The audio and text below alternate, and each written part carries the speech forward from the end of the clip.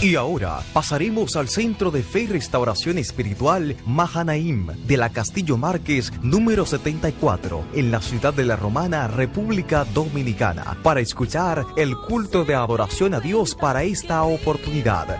Culto evangelístico.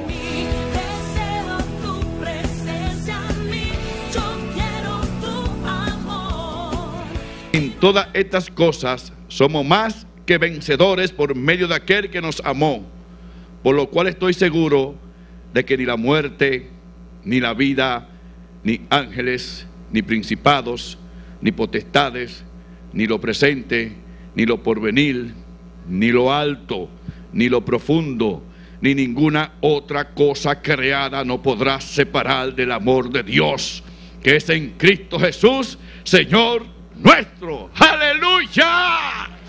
Somos más que vencedores. Declara tu vencedor en el nombre de Jesucristo. Oh, aleluya. Gloria a Dios. Vamos a presentar este culto y todo lo que vas a hacer para que el Espíritu Santo tome el control de todo. Oremos, hermanos. Padre que estás en los cielos, te alabamos, te bendecimos, exaltamos tu dulce y bendito nombre, Jehová. Gracias, Señor, por tu presencia. Gracias por los milagros. Gracias por la sanidad, Señor, de antemano te damos. Gracias por la liberación. Gracias por las almas que se van a entregar. Gracias, Señor, aleluya. Oh Padre mío, toma el control de todo, Jehová. Oh Padre Santo, los instrumentos, el ministerio de adoración, oh la palabra, el predicador, Señor, aleluya. Ay, gracias, Señor. Mira lo que están por los medios, alcánzalo, Señor. Oh, gracias, Señor, aleluya. Gracias, Señor. Sabemos que tú estás aquí, Señor. En el nombre de Jesucristo. Amén y amén. Aleluya. Da un aplauso al Señor. Te saltamos Jesús.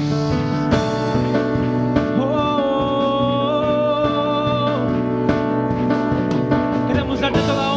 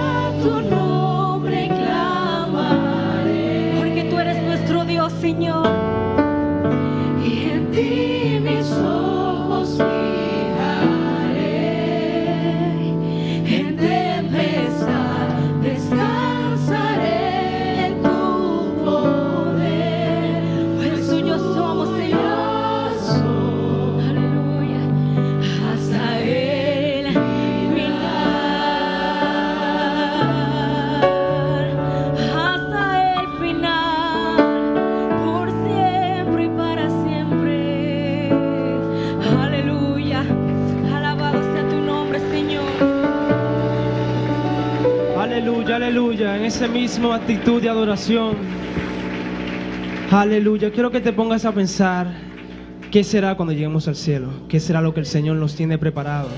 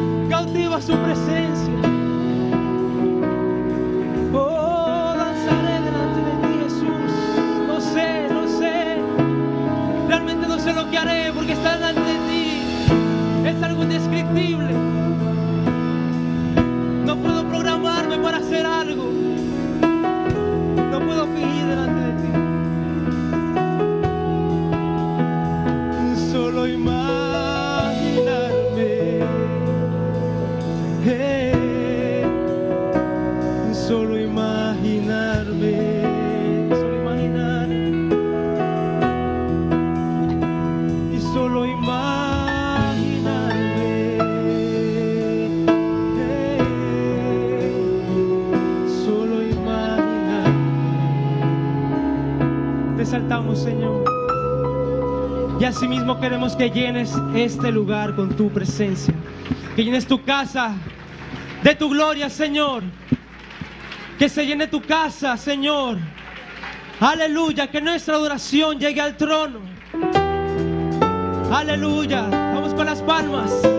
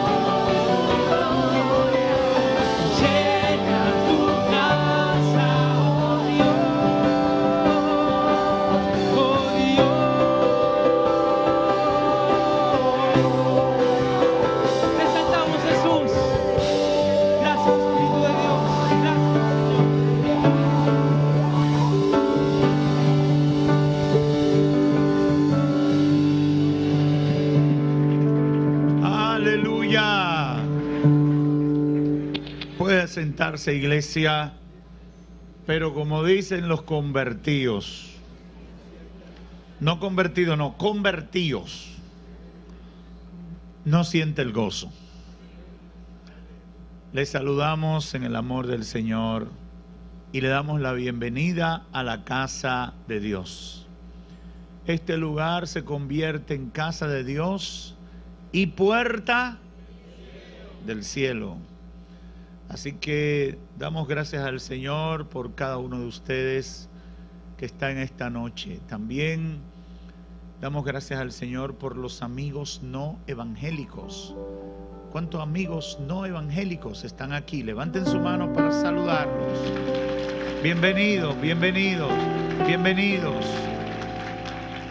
Yo quiero que los que están al lado de ustedes los saluden y le den un apretón de mano y diga bienvenido. En nombre de la iglesia te felicito, ¿eh? Felicítelo, dile gracias por estar en medio nuestro. Qué bueno es el Señor. También les damos la bienvenida a todos los que nos reciben por los medios y es una gran bendición saber que Dios está haciendo maravillas a través de los medios. ¿Por qué digo esto? Anoche, creo que fue anoche, estoy buscando por acá, anoche me llegó un correo que me impactó, lo vi, eh, no sé si fue esta mañana temprano o, o ya al final de, de la noche, aquí está, era de una joven, dice, hoy miércoles 12 del presente mes, en la transmisión de su mensaje bíblico, el Señor Jesucristo habló a mi vida y oré pidiéndole al Señor que dirija mi vida y mi familia. Mi esposo y yo estamos pasando por un momento difícil en nuestras vidas y necesitamos la oración y un espacio, entre paréntesis, iglesia, para congregarnos y nutrirnos de su palabra. Agradecido del Señor Jesucristo por ustedes y esperando contar con sus oraciones y la oportunidad de seguir creciendo espiritualmente. Esas son las palabras de una persona que estaba ayer recibiendo el culto. Y eso es lo que el Señor está haciendo. Así que damos gloria a Dios que lo que pasa aquí no se quede en las cuatro paredes de este edificio en la Castillo Marque 74 de la Romana, sino que Dios lo lleva a todo el mundo. De broma, no, de verdad. Déjenme ver, no, no lo saqué aparte. Yo tengo que estar recibiendo como 200 cosas diarias. Y, pero sí, esta mañana tuve siete reportes de siete estados en Estados Unidos en 10 minutos a través del internet. Dios está obrando. Dios está obrando. Dios está obrando. Aunque el diablo diga lo contrario, Dios está obrando. Se abrirá. Tu respuesta, lo que Él dijo. Y yo sé,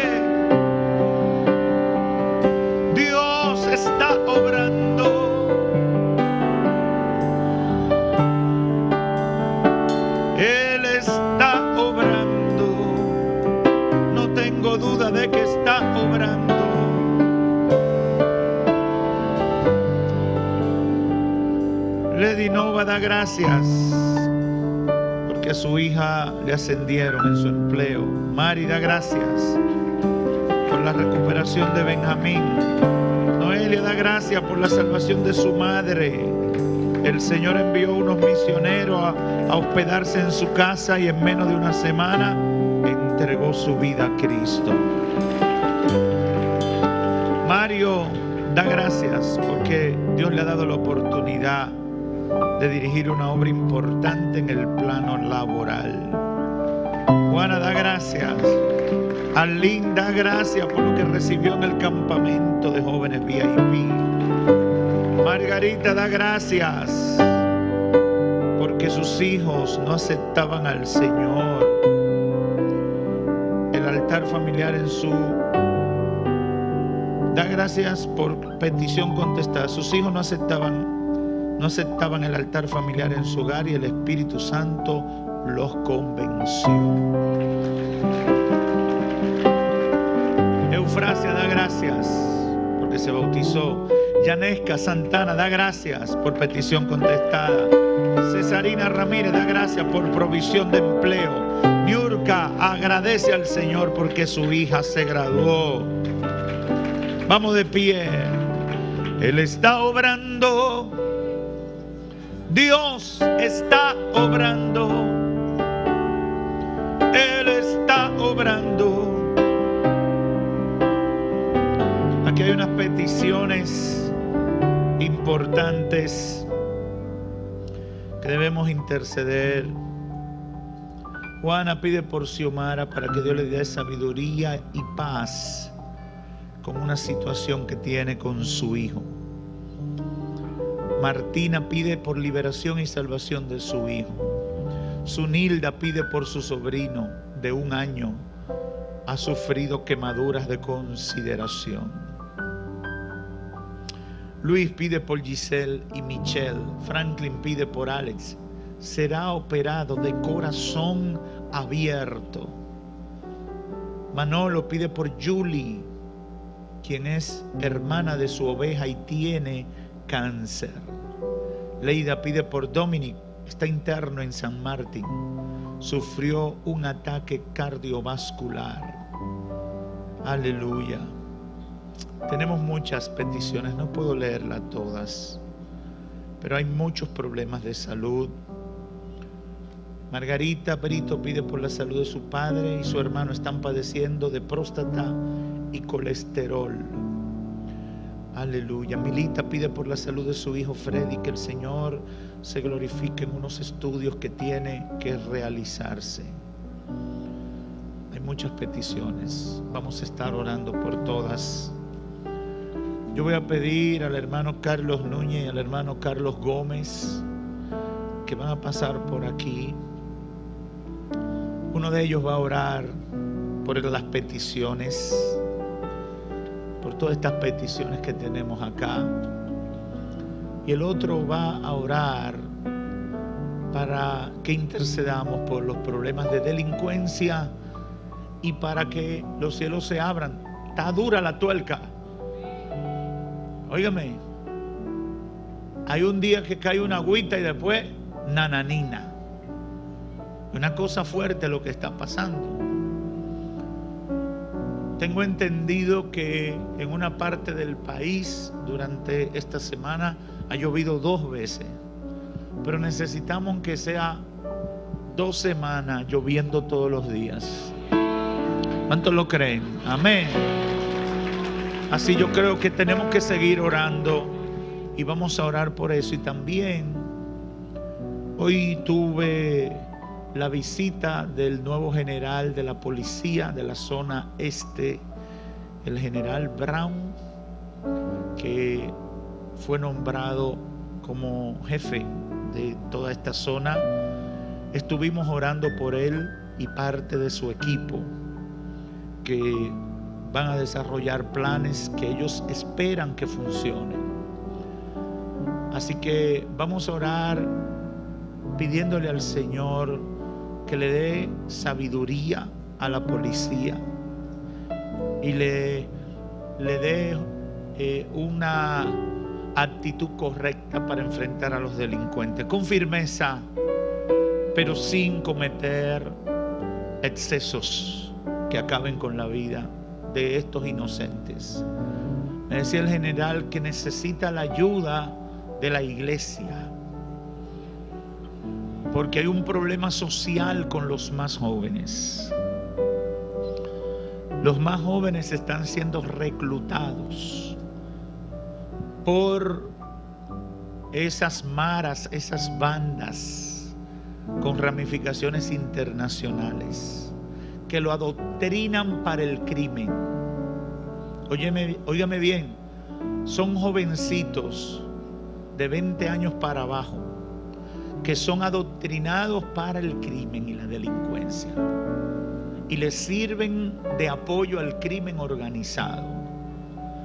Con esos niños usted no tiene cómo bre- bregar, porque si usted le, los reprime como quiera, ellos creen que lo están haciendo bien y están hasta dispuestos a entregar su vida por estar bien con esas organizaciones delictivas.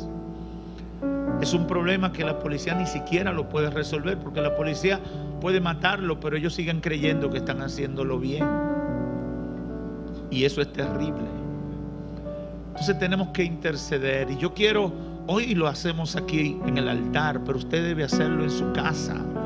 Hay gente que me dice, pastor, yo no, yo no tengo tema por orar. Óigame, coja un periódico, piense en el barrio donde usted vive y usted va a tener 200 temas para hablar, para orar. Piense en su familia, piense en los relacionados, piense en los compañeros de trabajo. Hay una labor de intercesión que tenemos que hacer. Así que vamos a orar primero por las peticiones. ¿Quién tiene las peticiones? Amante Padre eterno, a ti te damos gloria, te damos honra, Señor, te damos la alabanza, Dios del cielo. Aleluya. Estamos delante de ti, Señor, como atalayas, Padre amado, presentándote cada petición, cada dolor, cada enfermedad, Padre Santo, de este pueblo, Señor, que clama a ti, Dios glorioso. Te presentamos a aquellos que tienen cáncer, aquellos, Señor, que están enfermos con colesterol alto, aquellos que tienen válvulas en el corazón y problemas cardíacos, Señor. Tú eres el sanador por excelencia.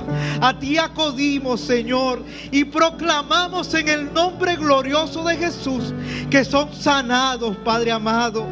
Te presentamos a aquellos que claman por liberación, que tienen familias atadas, Señor, y están clamando día y noche delante de ti por salvación y liberación. Te pedimos que en este instante, Señor, aleluya, tú hagas milagros de sanidad y salvación, aleluya. Pasa colirios por los ojos, quita los tapones de los oídos, Señor. Y en el nombre de Jesús, esos corazones que están endurecidos son ablandados por el poder de tu Espíritu Santo. En el nombre de Jesús, declaramos y proclamamos que hecho está para la gloria de tu nombre. Amén. Amado Dios, oh Todopoderoso eres tú, Señor. Tu iglesia está aquí, Señor. Tu iglesia está aquí clamándote a ti, Padre Santo. Sabemos que tu palabra ha de cumplirse, Padre Santo. Sabemos de que tu palabra se va a cumplir letra por letra y paso por paso, Señor. Pero clamamos, apelamos a tu, a tu misericordia, Padre Santo, para que la delincuencia se detenga, Señor. Para que tú mires, Señor, a cada joven, a cada niño, Señor. Y que tu iglesia pueda llegar a ellos. Que tu pueblo pueda llegar a ellos, Señor. Padre, detén ahora, Señor, la delincuencia. Padre, sé que la maldad de este pueblo es mucha, Señor. Y por esa maldad tú estás deteniendo la lluvia. Tú estás deteniendo, Señor, para que clamen a ti. Padre, este pueblo se está olvidando de tu nombre. Y tú estás haciendo esto para que puedan acordarse de ti, Señor. Para que puedan clamar a ti. Por eso tu iglesia clama a ti, Todopoderoso. Clamamos a ti por lluvia, Padre. Que el pueblo sepa, Señor, que por el Dios que está en los cielos es que va a llover, Señor. No es por el hombre, es por ti, Señor. Y porque tu iglesia va a clamar, porque tu iglesia te lo va a suplicar. Y tú oirás a tu pueblo, Señor.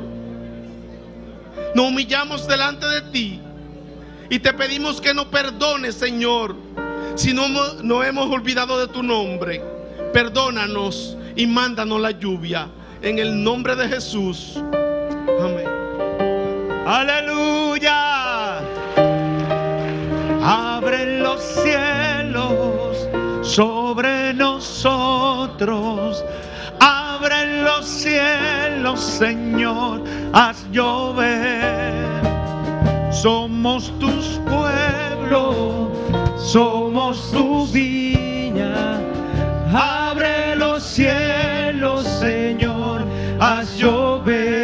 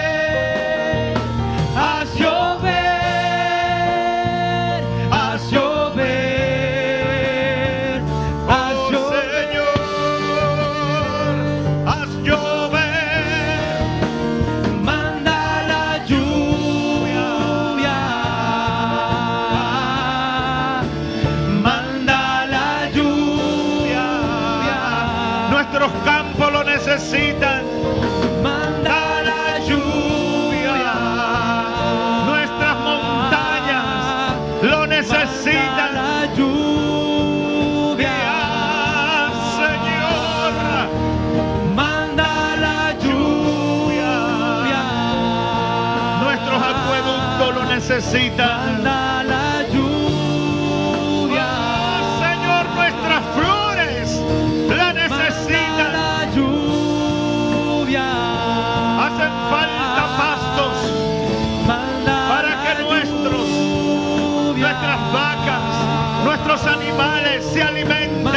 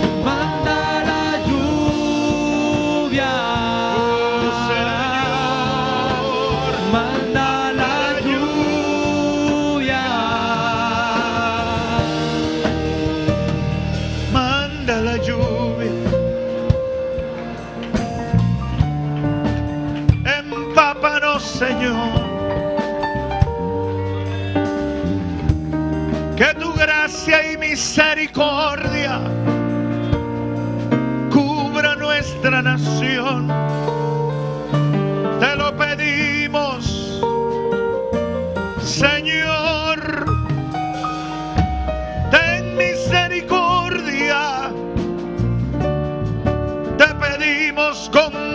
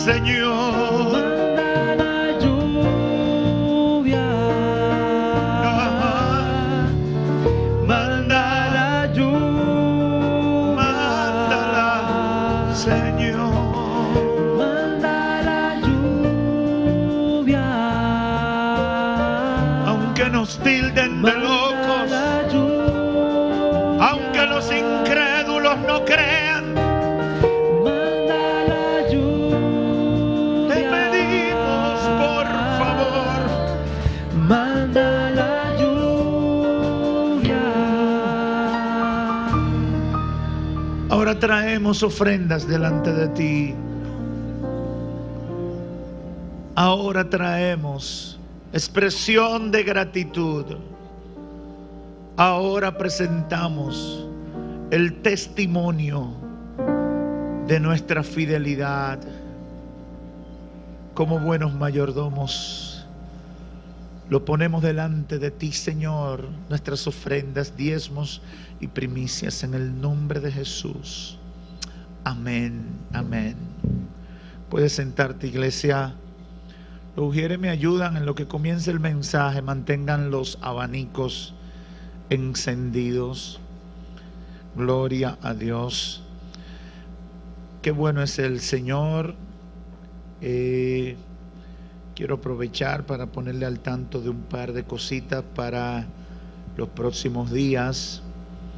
Mañana tenemos nuestra actividad especial de hombres y mujeres.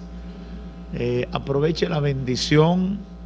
Los hombres estamos desarrollando un nuevo programa maravilloso, un material tremendo y estas actividades nos dan la oportunidad de, de crecer tremendamente espiritualmente, porque no solamente usted escucha la palabra, sino que también usted pregunta y se nutre con los planteamientos y el foro que se desarrolla durante estas actividades. Igualmente las mujeres. Así que es una hora, oramos por las necesidades y también compartimos la palabra y no hay que ir a la casa a bañarse y a cambiarse. Usted viene así del trabajo porque los hombres eh, lo que queremos es buscar la presencia de Dios y las mujeres también en espacios exclusivos. No es lo mismo un grupo de hombres orando y pidiendo al Señor que un grupo de mujeres orando y pidiendo al Señor. Son dos grupos diferentes, con necesidades diferentes. Así que aprovechen, eso pasa los viernes a partir de las 6 de la tarde y yo sé que Dios eh, bendice de una manera especial a los que vienen. El sábado está la actividad de jóvenes y de soltero. Bueno, en el campamento yo tuve una vigilia con un grupo. Duramos como cuatro horas hablando, sería verdad. Cuatro horas hablando. Y de ahí se desató que tengo unas charlas poderosas para solteros y para jóvenes. Así que voy a estar, eh, no lo cojo este sábado porque estoy en campaña. Desde anoche voy a estar en campaña. Estoy en campaña hasta el domingo, todos los días con funciones. Mañana voy para los tres brazos en Santo Domingo. Así que la gente de, de la iglesia de Dios, no me recuerdo el apellido ni el nombre del pastor, pero para allá vamos. Donde está nuestro hermano César Lorenzo. César es parte del equipo organizador. Pero a los jóvenes y a los solteros lo tengo emplazado porque tenemos que derribar fortalezas. Amén. Hay que derribar fortaleza y el Señor lo va a hacer. Así que voy a ver si vengo el sábado de arriba con los jóvenes y el otro con los solteros. Y que no se me queden los solteros de más de 40. Que tengo palabra de parte de Dios para ustedes. Aleluya.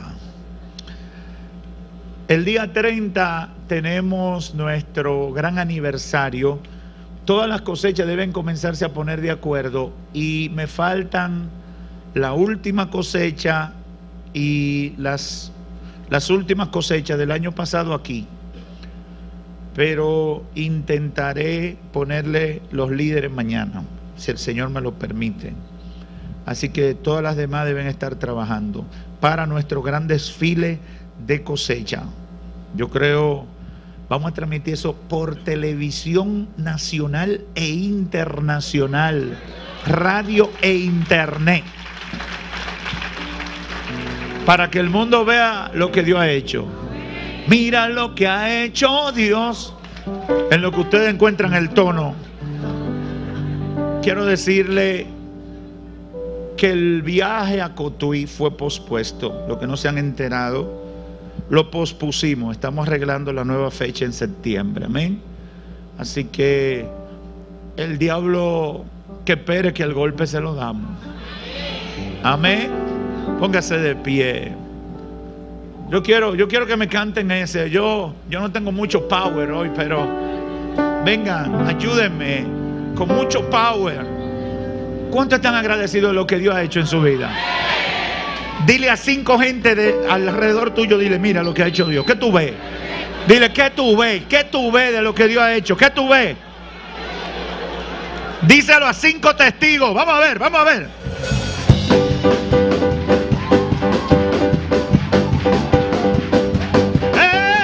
Victoria, la victoria mía es. Victoria, la victoria mía es. Si mantengo mi paz, él pelea la batalla. Victoria, la victoria mía es. Victoria, victoria, la victoria mía es. Victoria, la victoria mía es. Si mantengo mi paz, él pelea la batalla. Victoria, la victoria mía es. Mira lo que hizo Dios. Mira lo que hizo Dios. ¡Mira! Lo que hizo Dios. Sanó mi cuerpo, tocó mi mente, me salvó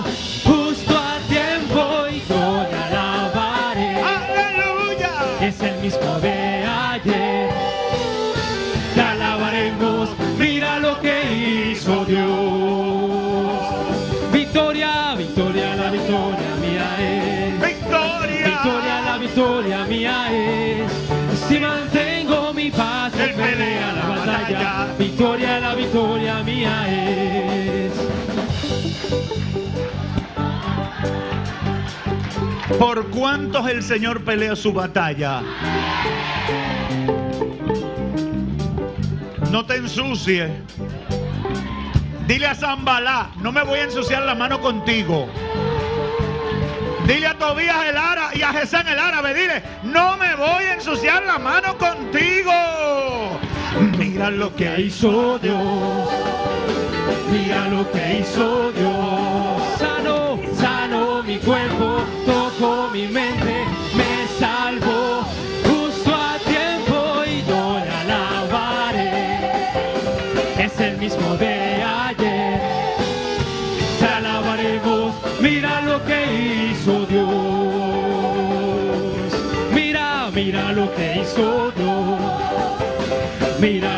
hizo Dios. Sanó, sanó mi cuerpo, tocó mi mente, me salvó justo a tiempo y yo le alabaré. Es el mismo de ¿Cómo ayer. dice? Te alabaremos, mira lo que hizo Dios. La tengo, la tengo, la tengo. Tengo la gracia, tengo la unción. La tengo, la unción. La unción está sobre mí. Gloria a Dios porque la tengo. No, no, no, no, no. Eso no se puede decir, la tengo, dije, dije como un justo, como una momia. Ay, no, no, no. La tengo. La tengo. La tengo. Eso. La tengo. La unción, la unción unción está está. sobre mí.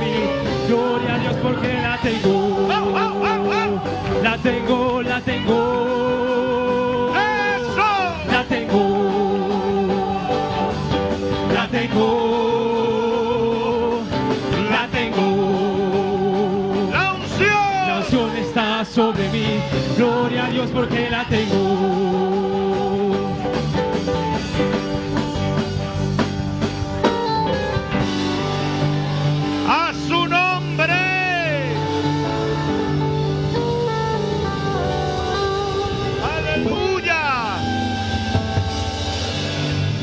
Padre, voy a hablar en tu nombre. Úsame, Espíritu Santo.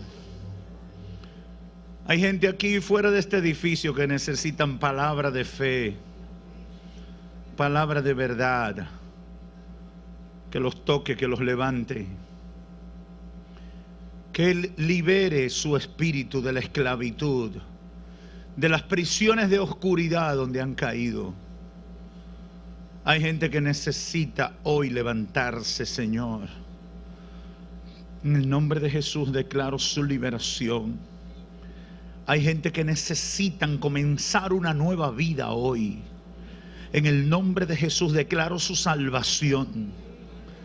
Hay gente que necesita renovarse en el espíritu. Declaro su renovación en el nombre de Jesús. Amén, amén. Quiero invitarle a buscar en sus Biblias en el libro de Santiago. Yo no sé por qué uno como que se calienta cuando adora. No me apaguen los abanicos, déjenmelo aunque sea 10 minutos, excepto ese. Porque ese ahí le quita la comunión a los predicadores. Libro de Santiago. Gloria a Dios. Las mujeres prepárense para participar de la actividad que tiene el Ministerio de Mujeres de nuestra iglesia en Santo Domingo, con nuestra hermana Nancy Ramírez, 28 y 29. Eh, por ahí hay boletas, prepárense para que vayamos un buen grupo de aquí. Yo me sacrificaré y la acompañaré. Privilegio de pastor. Santiago capítulo 5, verso 16. Gloria a Dios. Si lo tienen pueden decir amén. Confesaos vuestras ofensas unos a otros y orad uno por otros para que seáis sanados. La oración eficaz del justo puede mucho. Elías era hombre sujeto a pasiones semejantes a las nuestras y oró fervientemente para que no lloviese y no llovió sobre la tierra por tres años y seis meses. Y otra vez oró y el cielo dio lluvia y la tierra produjo su fruto. Hermanos, si alguno de entre vosotros se ha extraviado de la verdad y alguno le hace volver, sepa que el que haga volver al pecador del error de su camino, salvará de muerte un alma y cubrirá multitud de pecados. Amén. Pueden sentarse.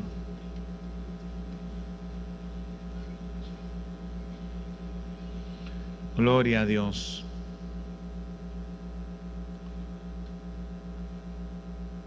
Aleluya.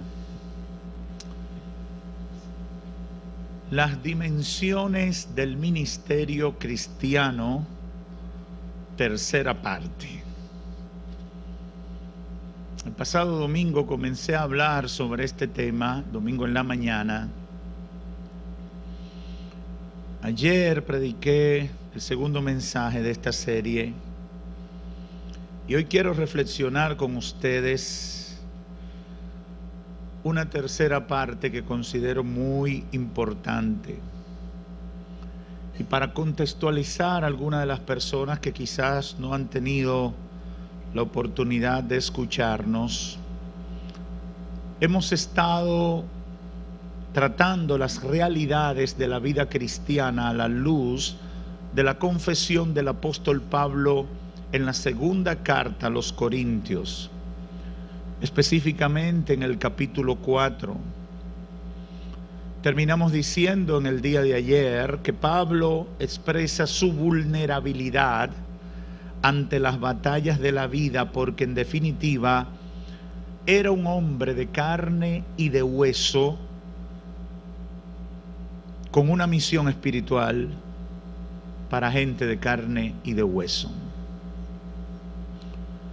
Yo no sé si usted puede identificar ahí cómo cambian los niveles. Un hombre de carne y de hueso con una misión espiritual para bendecir o alcanzar la vida de gente de carne y de hueso. Él y otros hombres no fueron superhéroes ni ángeles, no tenían una capa mágica, no eran como Spider-Man que tiraba telaraña, ni tampoco tenía la fuerza de Superman ni las habilidades de Batman. Él como otros hombres de la Biblia fueron gente normal que pudieron alcanzar grandes victorias por la misericordia de Dios.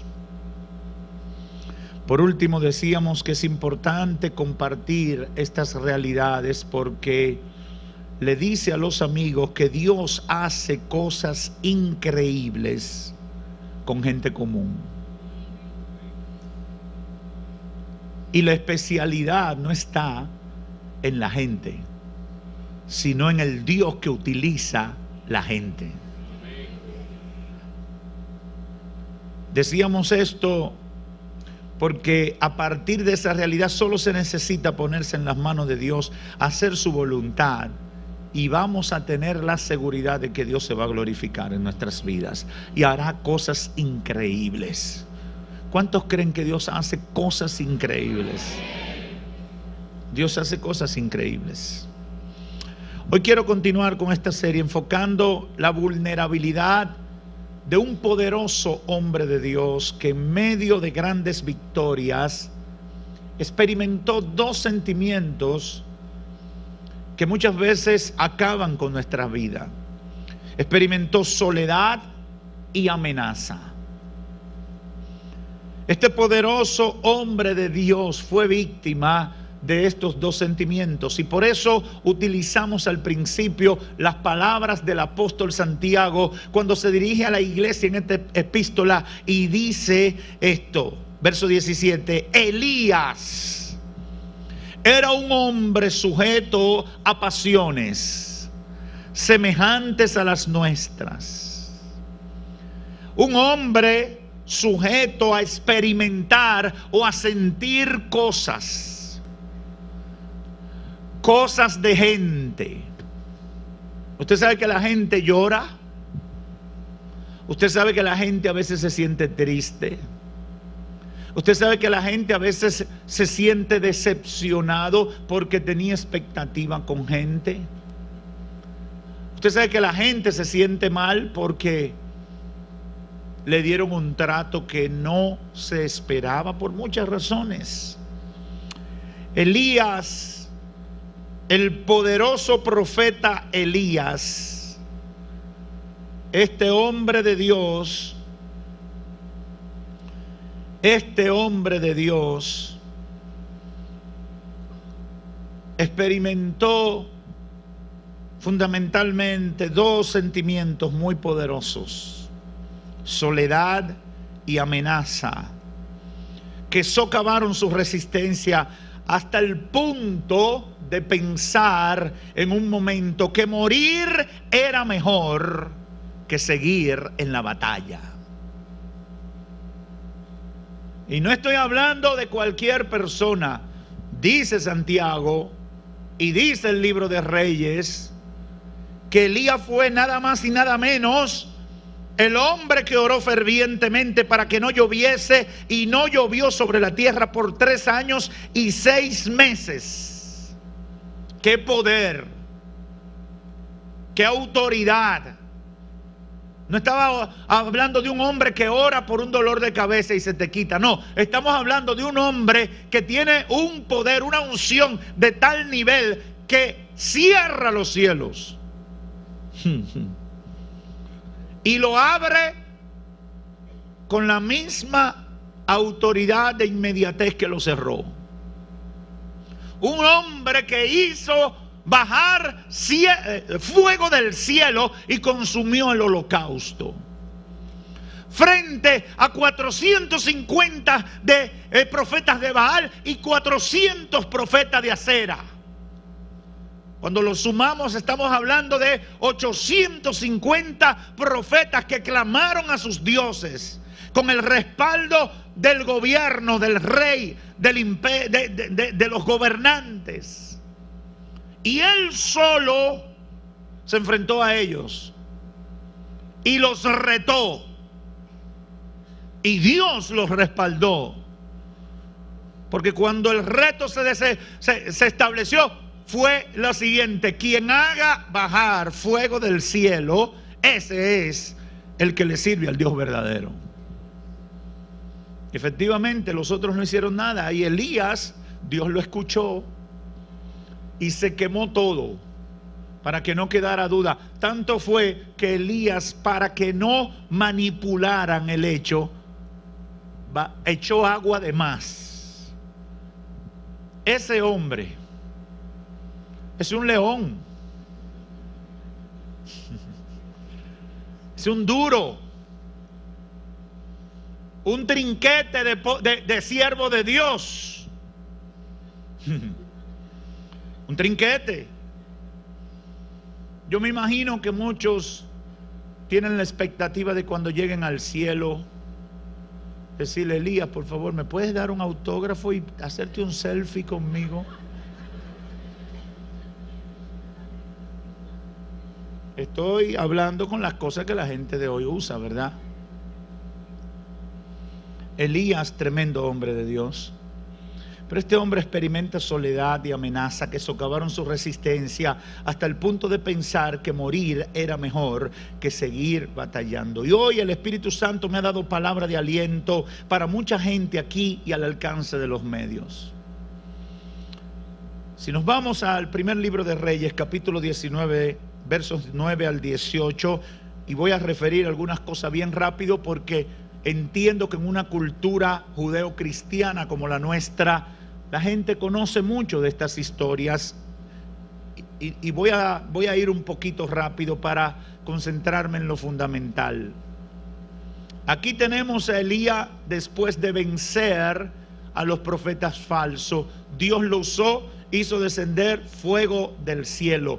Pero a partir del verso 9 lo encontramos huyendo al desierto ante la amenaza de la perversa reina Jezabel. Cuando Elías mata a los profetas de Jezabel, los profetas de Baal, cuando Elías los avergüenza, Jezabel le da una sentencia a partir del verso 1 del capítulo 19 y le dice, mañana a esta hora me quito el nombre si tú no estás muerto. Y me imagino que le dijo de desgraciado para abajo todas las cosas feas que ella podía decir. En la Biblia no se pone porque no se van a poner esas sandeces.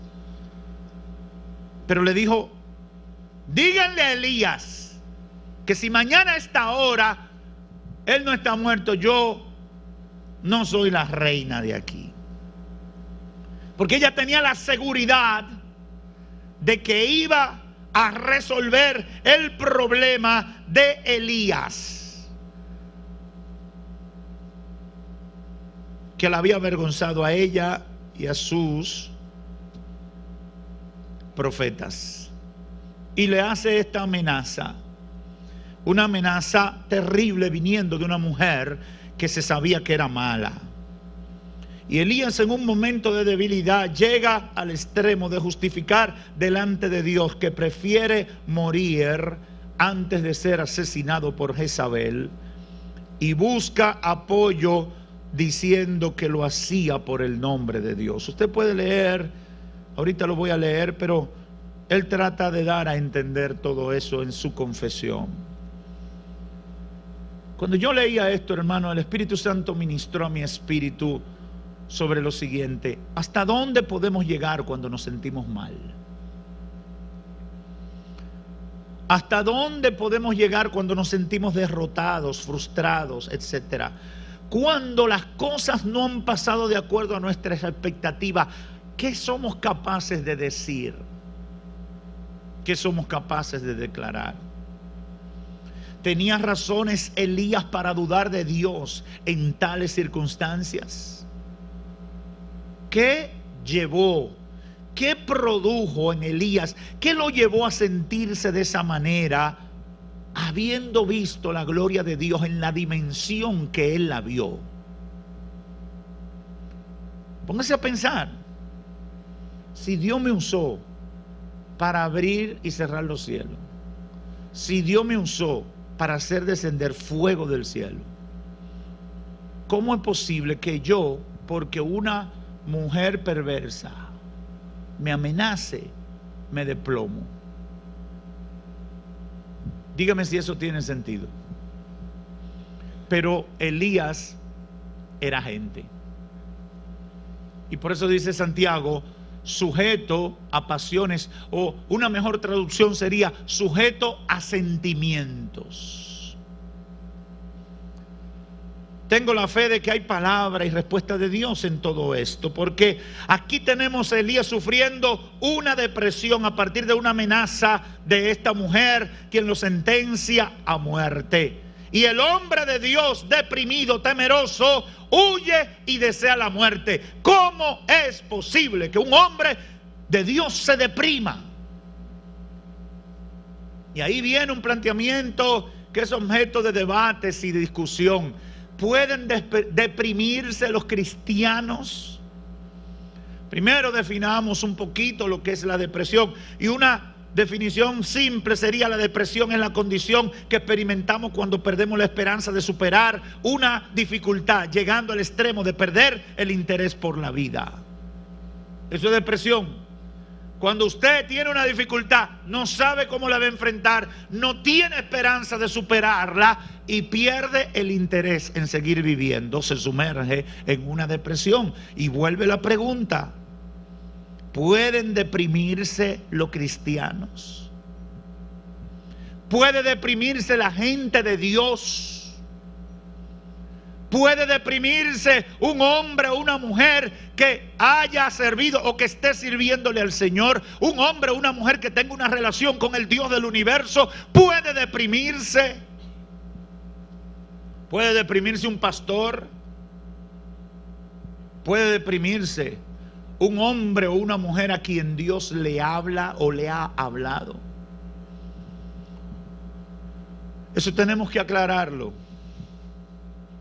Creo, y quiero que me escuche con atención todo el que me veo o me escuche en este auditorio, creo que un cristiano saludable en comunión, con una dieta espiritual balanceada, con una fe cultivada, tomándose todas las vitaminas espirituales, no debe experimentar depresión. ¿Usted oyó la descripción que hice? ¿No le, no le dio un olorcito a médico?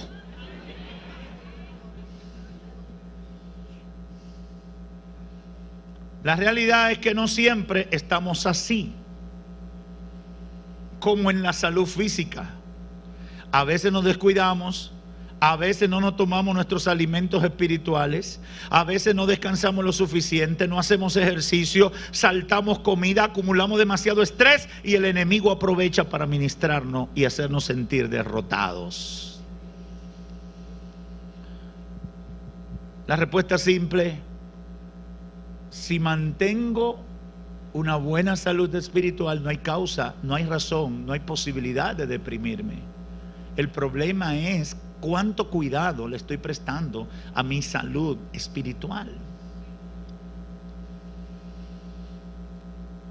Por lo tanto, eso es lo que explica la situación de Elías. Y mientras meditaba en todo el pasaje bíblico, hay una pregunta que surge. ¿Por qué cayó Elías en depresión? ¿Por qué? Y mientras meditaba el Espíritu Santo me dio cuatro razones por las cuales Elías se deprimió, a pesar de ser el poderoso profeta.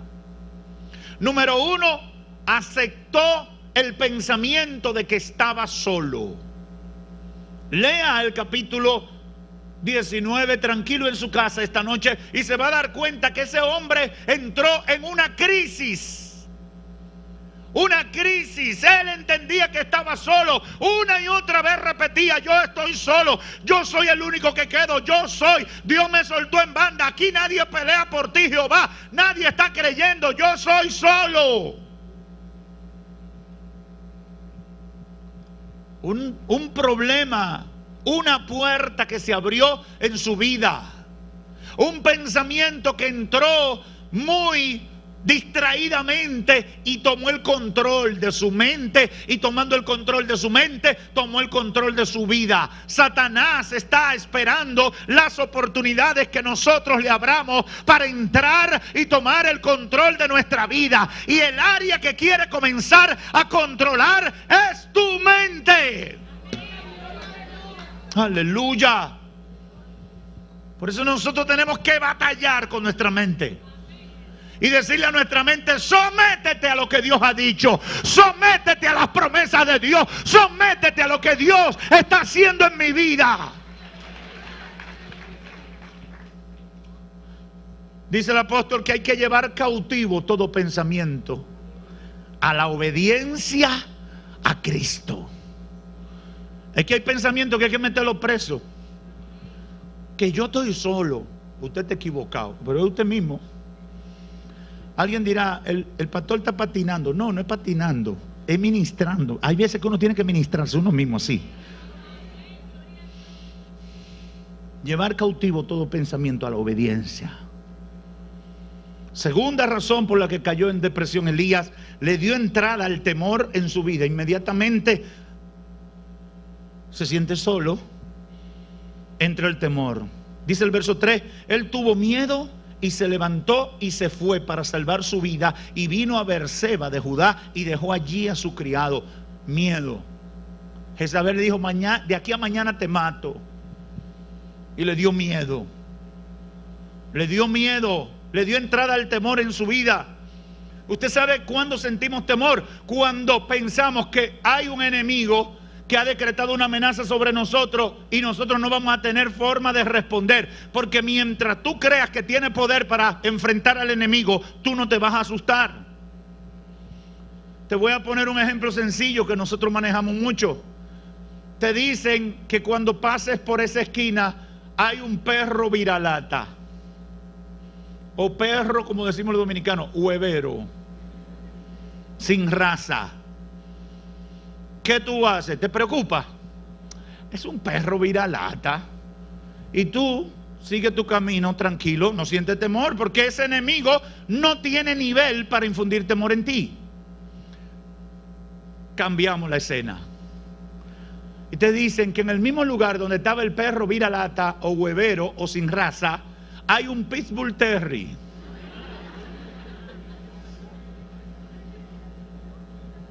¿Sigue usted igual? Cambia.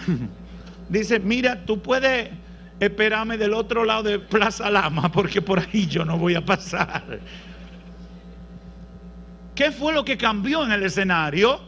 La categoría del enemigo. ¿Cuándo sentimos temor? Cuando tenemos de frente un enemigo que nosotros entendemos que no podemos enfrentar exitosamente.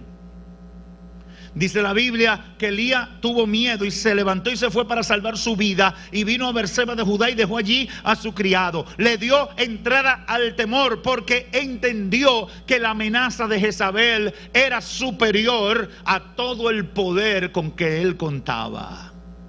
Craso error. Porque el Dios que hizo bajar fuego del cielo no podía controlar a Jezabel. Tercera razón, se cansó porque tenía una expectativa equivocada al pensar que después de la gran victoria el pueblo lo respaldaría y buscaría de Dios. Se lo voy a leer, el verso 4. Anduvo por el desierto un día camino y vino y se sentó bajo un enebro, pidió morirse y dijo, basta ya, Señor, toda mi vida porque yo no soy mejor que mis padres. Verso 10. Y él respondió, he tenido mucho celo por el Señor, Dios de los ejércitos, porque los hijos de Israel han abandonado tu pacto, han derribado tus altares y han matado espada a tus profetas. He quedado yo solo y buscan mi vida para quitármela. Elías se cansó porque tenía expectativas que no se cumplieron. A veces uno está esperando la manifestación del poder de Dios y Dios en efecto se manifiesta, te respalda y alcanza la victoria. Pero tú estás esperando que el público te va a victoriar. Tú estás esperando que los incrédulos crean. Tú estás esperando que todo el mundo se alinee con la evidencia del poder de Dios en tu vida. Y entonces eh, ahí sale a relucir que tú tienes expectativas equivocadas porque tú quieres que pasen cosas que Dios no te ha dicho que necesariamente tienen que pasar. Dios lo único que está haciendo es respaldándote y poniendo en evidencia que está contigo. No te ha dicho que vas a hacer un regalito de Navidad o un espejito que le va a caer bien a todo el mundo. Ese fue el problema de Elías. En la queja, en los argumentos que él le da al Señor, él evidencia, tu pueblo no hizo nada. Tú me respaldaste, puse en vergüenza, dijeron Jehová es Dios, pero no ha pasado nada. Me siento solo. Las cosas no han sucedido como yo esperaba. Estoy cansado.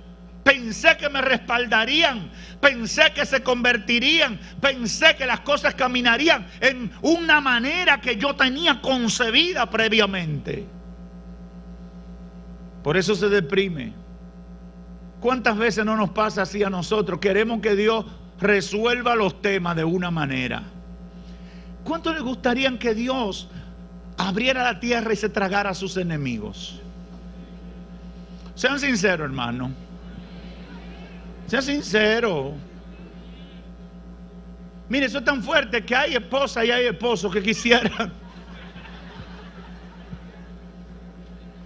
Porque esas son formas, maneras que uno tiene de que se resuelvan los temas, ¿sí o no? Uno tiene su, perfil, su, su pensamiento, su- sus planes. Señor, tú deberías ponerle una lepra a esa chismosa que tiene. Hace 10 años yo vivo en este barrio. Esa mujer no para la lengua hablando de mí. Señor, debería. Señor, tú no le podrías podrir la boca que le salga algo malo ahí y no pueda hablar. Cosa de nosotros, expectativa de nosotros. De repente el poder de Dios cae y Dios hace cosas maravillosas. Y en vez de que se le pudra la lengua a la mujer, entonces viene y se convierte y va contigo a la iglesia.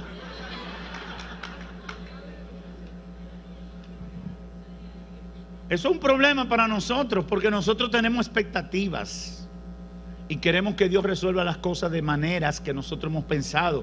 Pero no, Dios no ha prometido que va a ser las soluciones como nosotros pensamos. Dios tiene manera de resolver los temas. Y sus prioridades están primero que las nuestras. Elías cayó en depresión porque tuvo expectativas equivocadas.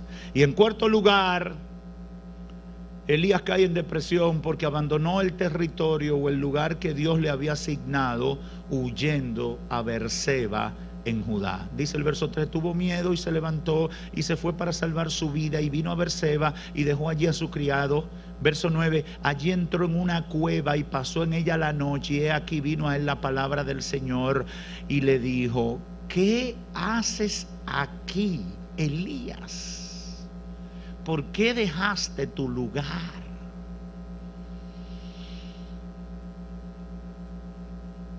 En el capítulo 17 usted encuentra a Elías que Dios en una primera etapa, cuando cierra el cielo, lo saca del momento, del medio, y se lo lleva para que lo alimenten cuervos. Pero en ese momento es Dios que lo saca y le dice, ahora te voy a poner aquí en una cueva para que te alimenten cuervos, en lo que yo termino de doblegar la voluntad de estos reyes pecadores.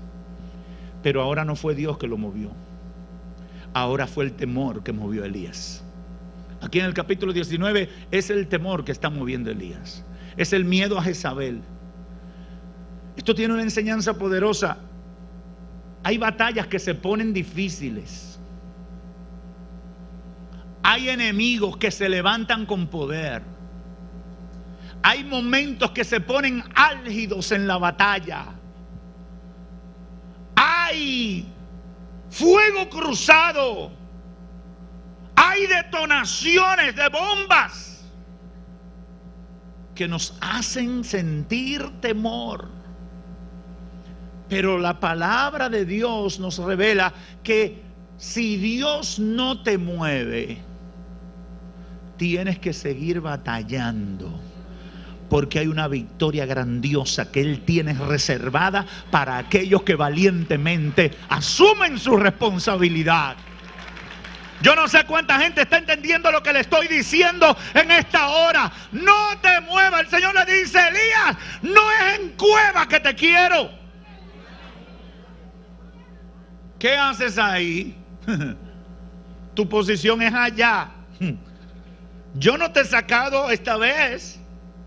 Tú estás huyendo. Hay una posición que tú tienes que mantener. Y mientras Dios te mantiene en esa posición, Él te va a dar fuerza para tú resistir el fuego cruzado que está pasando en tu vida. Óyeme bien, no te muevas. Hay mucha gente que Dios le habla en esta noche. No te muevas, no te muevas. No es tiempo de retirarse, no es tiempo de moverse, no es tiempo de huir. No permitas que el temor te saque del territorio de la conquista que hace tiempo Dios te dio.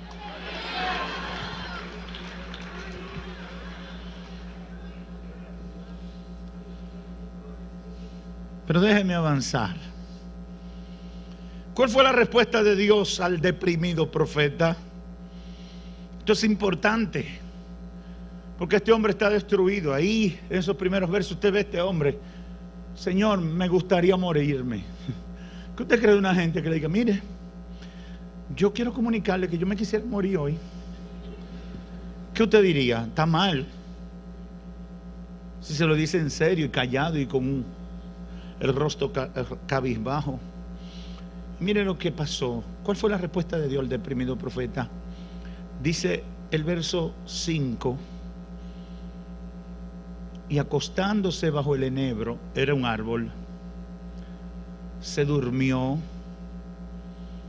Y aquí un ángel lo tocó y le dijo, levántate, come. Entonces el profeta Elías miró y he aquí que a su cabecera había una torta cocida sobre piedras caliente y una vasija de agua fresca. Un microwave. Una torta cocida sobre piedras calientes. ¿Y qué hizo el profeta? Comió y bebió y volvió a acostarse. Los lo que están deprimidos duermen mucho. Y el ángel del Señor volvió por segunda vez, lo tocó y le dijo, levántate, come, porque es muy largo el camino que resta para ti. ¿Qué yo veo en todo esto? Lo primero, la primera parte de la respuesta de Dios para el deprimido profeta es, ven muchacho, a ti hay que darte atención, a ti hay que darte cuidado, a ti hay que recibirte y después bregamos con tu lío. Dios le presta atención, tiene cuidado de él hasta que se calmara. Mire qué detalle, qué, qué atención más fina la de Dios con este deprimido profeta. Lo segundo que Dios hace, les revela que la misión no ha terminado. Y el ángel de Jehová la segunda vez lo tocó diciendo, levántate y come porque largo camino te resta. ¿Qué le estaba diciendo el Señor? Elías, tú te quieres morir, pero yo no te quiero morir. Te toca un trabajo largo, no ha terminado tu obra. Señor, yo quiero morirme porque yo estoy alto de esta familia y el Señor le dice, no te puedes morir porque a través de ti lo voy a salvar a todos. Señor, sácame de este empleo. No te puedo sacar porque tú eres la luz que está iluminando en esa tiniebla y hasta que yo no complete el trabajo por el cual te coloqué en ese lugar, yo no te puedo ca- sacar ni tampoco tú te puedes cansar porque hay una asignación que no se ha terminado. Tercera cosa que hace Dios con el deprimido profeta. Le reve- segunda cosa, le revela que la misión no ha terminado. Y si nos vamos al verso 9, al verso 8 dice, se levantó pues y comió y bebió y fortalecido con aquella comida, caminó 40 días y 40 noches hasta Oré. el monte de Dios. Y allí se metió en una cueva donde pasó la noche y vino palabra de Jehová, el cual le dijo, Elías, ¿qué haces aquí en la cueva?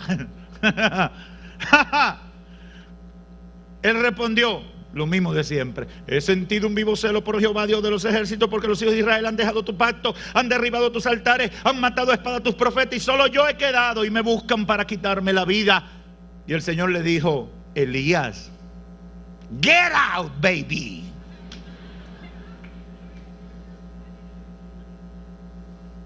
Sal fuera y ponte en el monte delante de Jehová.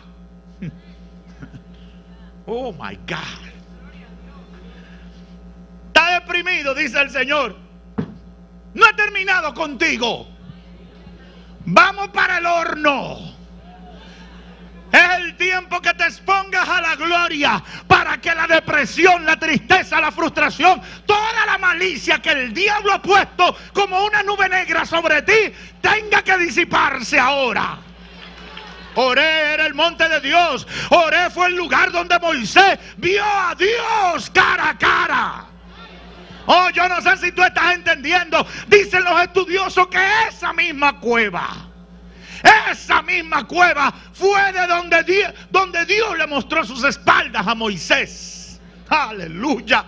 Dios le dice, Elías, levántate, muévete de ese territorio de depresión, salte de esa trampa, brinca ese lazo que el cazador te ha tendido. Es tiempo de meterte en mi presencia, porque largo camino.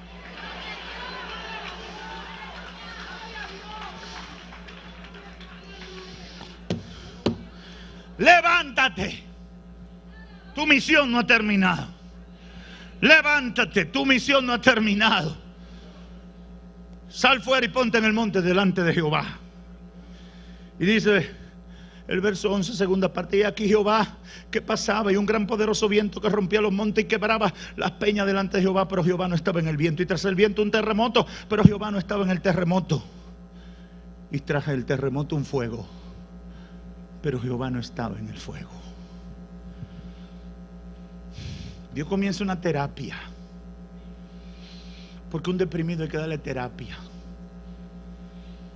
Lo saca, dice, levántate, tengo que llevarte al laboratorio, donde voy a bregar contigo. Ven al monte del Señor. Ah, si estás deprimido, no te quedes en tu casa. Si estás deprimido, no te quedes en ese cuarto de oscuridad donde el diablo te ha metido. Si tú sabes, si tú sabes cómo te sientes, si tú sabes lo que estás sintiendo y eres un hombre, una mujer temerosa de Dios, es el tiempo de que comience a moverte. Tienes que decirle a Satanás, no me voy a quedar aquí atrapado, no me voy a quedar aquí entrampado. Este no es mi lugar, no es aquí que Dios me quiere.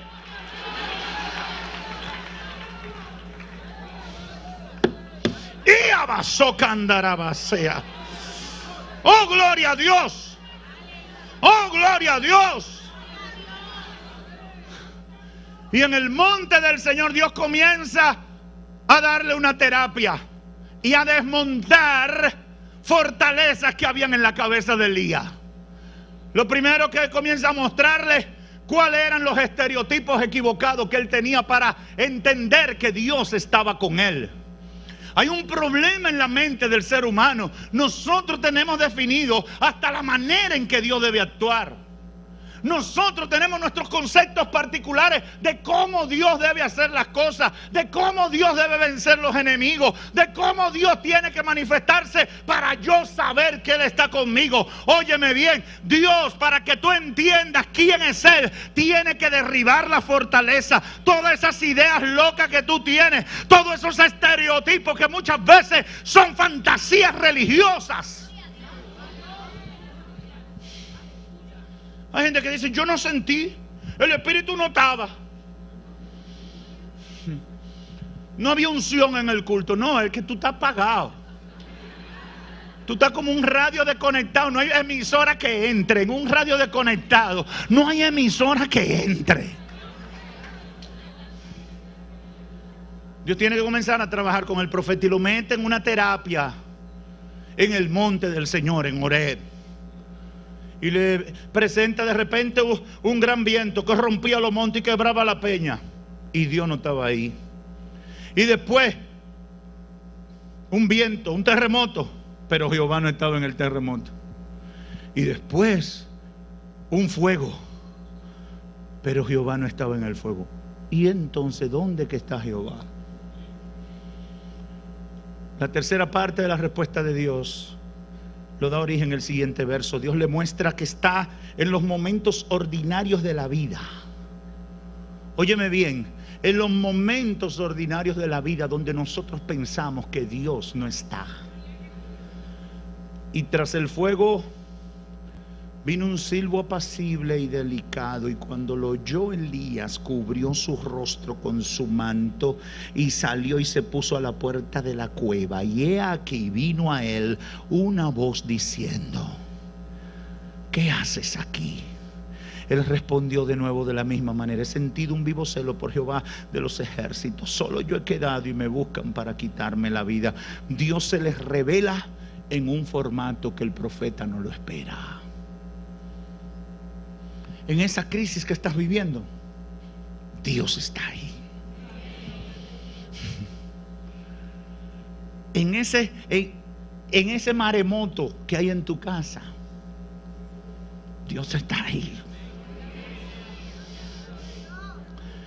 En ese, en ese negocio que se dañó, Dios está ahí. Pero que no puede ser que yo no siento la presencia. Está ahí. está ahí. Pero yo lo que me la paso llorando, sí, pero Él está ahí. Él está ahí, Él no te ha soltado, su brazo no se ha cortado. Satanás no puede desalojar al Señor de tu lado. Mientras tú quieras que Él esté contigo, Él estará contigo todos los días de tu vida, hasta el final. Está ahí. Está ahí. El silbo apacible fue el momento en que Dios se manifiesta y le muestra que está en los momentos ordinarios cumpliendo su propósito. Lo cuarto que Dios hace es que le dice, Elías, tu lugar no es donde el temor y la frustración te han llevado, sino donde yo te quiero. Verso 15 y le dijo Jehová, ve, vuélvete por tu camino por el desierto de Damasco y llegará y ungirá a Asael por rey de Siria, a Jehú, hijo de Ninsi, ungirá por rey sobre Israel y a Eliseo, hijo de Zafat de Abel Meola, ungirá, sinónimo de nombrará para que sea profeta en tu lugar. Y el que escapare de la espada de Hazael, Jehú lo matará, y el que escapare de la espada de Jehú, Eliseo lo matará, y yo haré que queden en Israel siete mil cuyas rodillas no se doblaron ante Baal y cuyas bocas no lo besaron. Ah, la última parte que Dios le está diciendo en la terapia al profeta, lo que tú estabas sintiendo no era la realidad. Y yo le digo a todo el, a todo el que me escucha, ¿qué estás sintiendo? ¿Qué estás sintiendo? ¿Que Dios te soltó? ¿Que las cosas te salen mal? Que tienes una suerte que apesta? ¿Qué estás sintiendo? ¿Que eres el patito feo de la película? ¿Que te cayó una malaria cuando te convertiste? ¿Qué estás sintiendo? ¿Que eres el más feo o la más fea de la iglesia y de la romana? ¿Qué estás sintiendo? ¿Que eres el único o la única que no se casa? ¿Qué estás sintiendo? ¿Que es el único matrimonio que no funciona? ¿Qué estás sintiendo? ¿Que el único que no progresa? ¿El único que no compra jipeta? ¿El único que no tiene smartphone? ¿El único que no tiene cable caro? ¿El que el único que no tiene pantalla de LED? ¿Eh? ¿Qué estás pensando? ¿Qué estás sintiendo? ¿Qué estás sintiendo? ¿Qué estás sintiendo? El Señor te confronta en esta hora. ¿Qué estás sintiendo? Dios le demuestra al profeta deprimido lo que sentiste. Esa puerta que abriste en tu vida para desestabilizarte fue una trampa del enemigo, porque la realidad es que no estás solo. Aún estando solo, yo estoy contigo y somos mayoría, pero no estás solo. Hay siete mil que no han doblado sus rodillas. El diablo no ha ganado. Yo se lo digo en el nombre de Jesús. El diablo no ha ganado. Dile a Satanás, tú no has vencido. Yo todavía tengo la victoria. Mira lo que ha hecho Dios. Mira lo que tengo. Mira lo que Dios me ha entregado.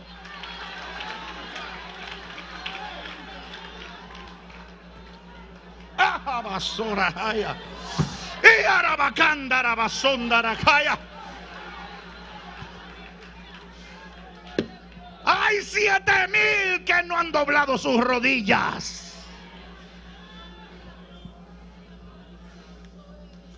¿Cuántas veces no vivimos la experiencia de sentir que los únicos que lo están haciendo bien somos nosotros?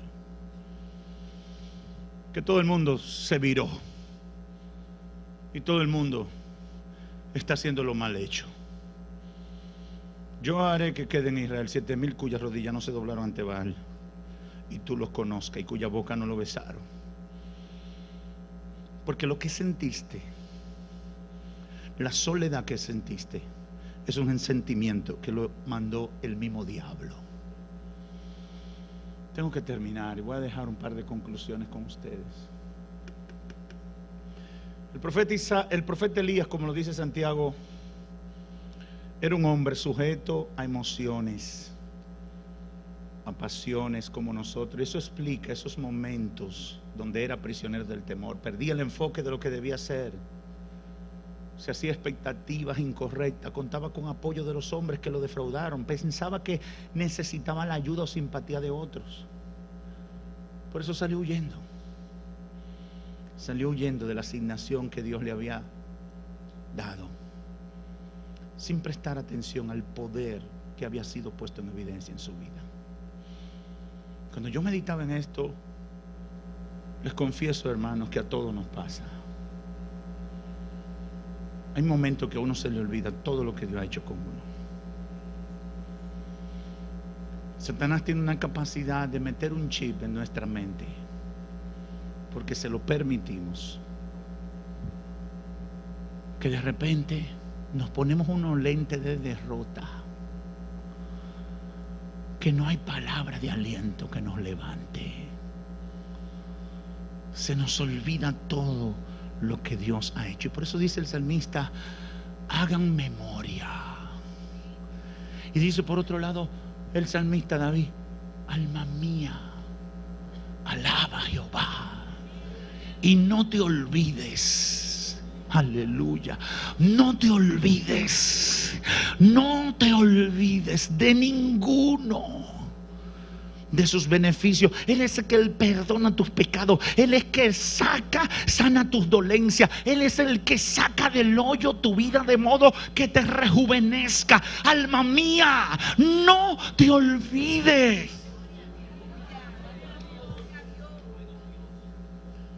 Porque ese, ese pensamiento va a venir. Si le pasó a Elías, ¿quién eres tú para que no te pase? Si le pasó a un poderoso profeta, si le pasó a un siervo de ese nivel, es un llamado de alerta para nosotros, para advertir el ataque. En Jerusalén, en todo el estado de Israel, hay un sistema terrible de alarma. Inmediatamente se dispara en el entorno un cohete todos los sistemas de alarma se activan y toda la ciudad entra en estado de emergencia y todo el mundo automáticamente entra en unos búnker que hay preparado ante ataques de cohetes. En Chile veía hace unos meses que están tan acostumbrados a los terremotos que están preparados e inmediatamente la tierra comienza a temblar. Hay, hay un, un dispositivo que se monta automático. La gente ya sabe para dónde va. La gente sabe qué debe hacer. Y por eso han pasado terremotos de 7 grados. Y no han tenido víctimas porque ellos saben. Se han preparado para enfrentar los ataques. Me pregunto yo, ¿nos preparamos nosotros para los ataques? ¿Estamos a la expectativa del ataque que puede venir? ¿Tenemos nosotros conciencia de eso? le pasó a un poderoso hombre de Dios, que tenía evidencias claras del respaldo de Dios en su vida, que tenía claro que Dios estuvo en situaciones difíciles con él, respaldándolo. Pero le falló porque su sistema de emergencia no advirtió que por un pensamiento Satanás desarrolló un plan destructivo de alto nivel. Por eso Pablo, en la misma segunda carta a los Corintios, hace una confesión que parece un poquito loca para algunos. Él había tenido unos problemas serios con algunos hermanos, lo había corregido, lo había amonestado y a la gente no le gusta que lo amonesten, a la, gente le gusta que lo dejen hacer lo que le da su gana. Y Pablo tuvo que usar su autoridad y tuvo que ser fuerte y en un momento pensó que había sido demasiado fuerte y, eh, y sabiendo que había muchos hermanos en Corinto que no, que no le caía bien, que se sentían mal con él, le dijo, yo lo perdono a todos. Yo los perdono a todos. Y el que me hizo algo, borre eso, que yo no tengo eso en cuenta. Y en otras palabras le dice a los demás, y el que me tiene cosas en cuenta, yo no le voy a hacer caso. El que me mire mal, no le voy a hacer caso. El que haya hablado de mí, no lo voy a etiquetar, no le voy a hacer caso a nadie. Y cierra el pedacito diciendo, porque no ignoramos las maquinaciones del enemigo. Dice otra versión, porque no ignoramos las artimañas del diablo. Muy claro. Tenemos nosotros un dispositivo de emergencia, tenemos un sistema de alarma que, que puede discernir cuando hay un ataque encubierto de alto nivel. La realidad es que generalmente estamos sostenidos en nuestras propias capacidades y fortalezas. Y a veces el Espíritu Santo nos advierte, te van a dar. A veces el Espíritu Santo te dice, no le haga caso a eso, que es para quitarte el gozo. A veces el Espíritu Santo te dice, no le tomes en cuenta la boquita esa, ligera. No le tome en cuenta la mirada, no le tome en cuenta el comentario, no le tome en cuenta la reacción, no tome en cuenta eso que ha pasado. Ciérrale la puerta, no permita que accese a tu vida. Pero nos quedamos igualito. No es que el que me hace eso a mí tiene que enfrentarse conmigo. ¿Quién te ha dicho? Ese es el viejo hombre. El hombre espiritual no le presta atención a reacciones carnales.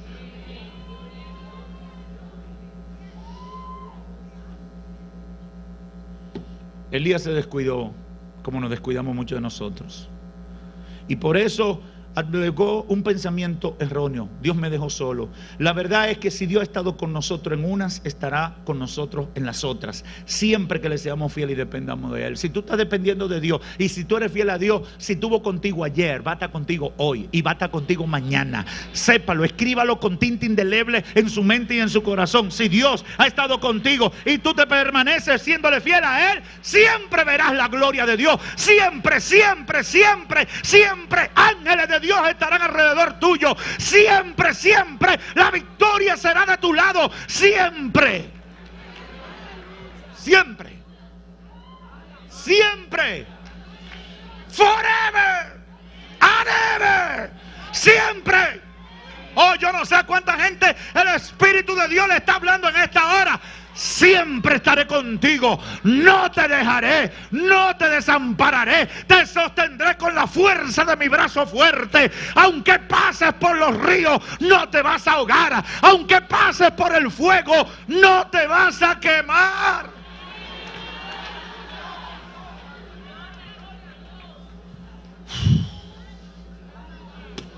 Oh, Jesus. Segundo lugar, Dios puede estar con nosotros aún en los momentos que no lo sentimos o no lo esperamos. Hay veces que Dios no se siente, pero está. Hay veces que no se siente. ¿Por qué? Porque quizá la piel se nos puso dura. Quizá el ambiente está tan contaminado, está tan... La nube de oposición está tan fuerte y espesa. Hay veces que Dios no se siente. Hay veces que, hay veces que la palabra no te salen para orar. Hay veces que no te concentra en la oración. Yo no sé si yo soy el único que he pasado por eso. Hay veces que uno no siente deseo de orar. Hay veces que el ambiente está tan pesado que tu boca no quiere abrirse para alabar a Dios. Oh, ay, eso fue lo que eso fue lo que pasaba con el salmista que dijo, "Alma mía, yo te ordeno en el nombre de Jesús." Vamos a ver si comienza a alabar. Por eso a la iglesia comenzamos alabando. Hay gente que llega explotado del día. Hay gente que llega deprimido de las batallas. Hay gente que llega frustrado con todas las luchas que tuvo que vivir en el día. Y, cuando vea a uno cantando, mira lo que ha hecho Dios, aleluya, gloria a Dios. Dice, pero ¿y qué es lo que le pasa? ¿Y qué es güere, güere que tiene el siervo? Que no se está tranquilo. Óyeme, no, no, no, no. Es que hay una cosa que se rompe con la alabanza. Hay una atmósfera que se libera con la alabanza. Hay una atmósfera que se implanta con la alabanza.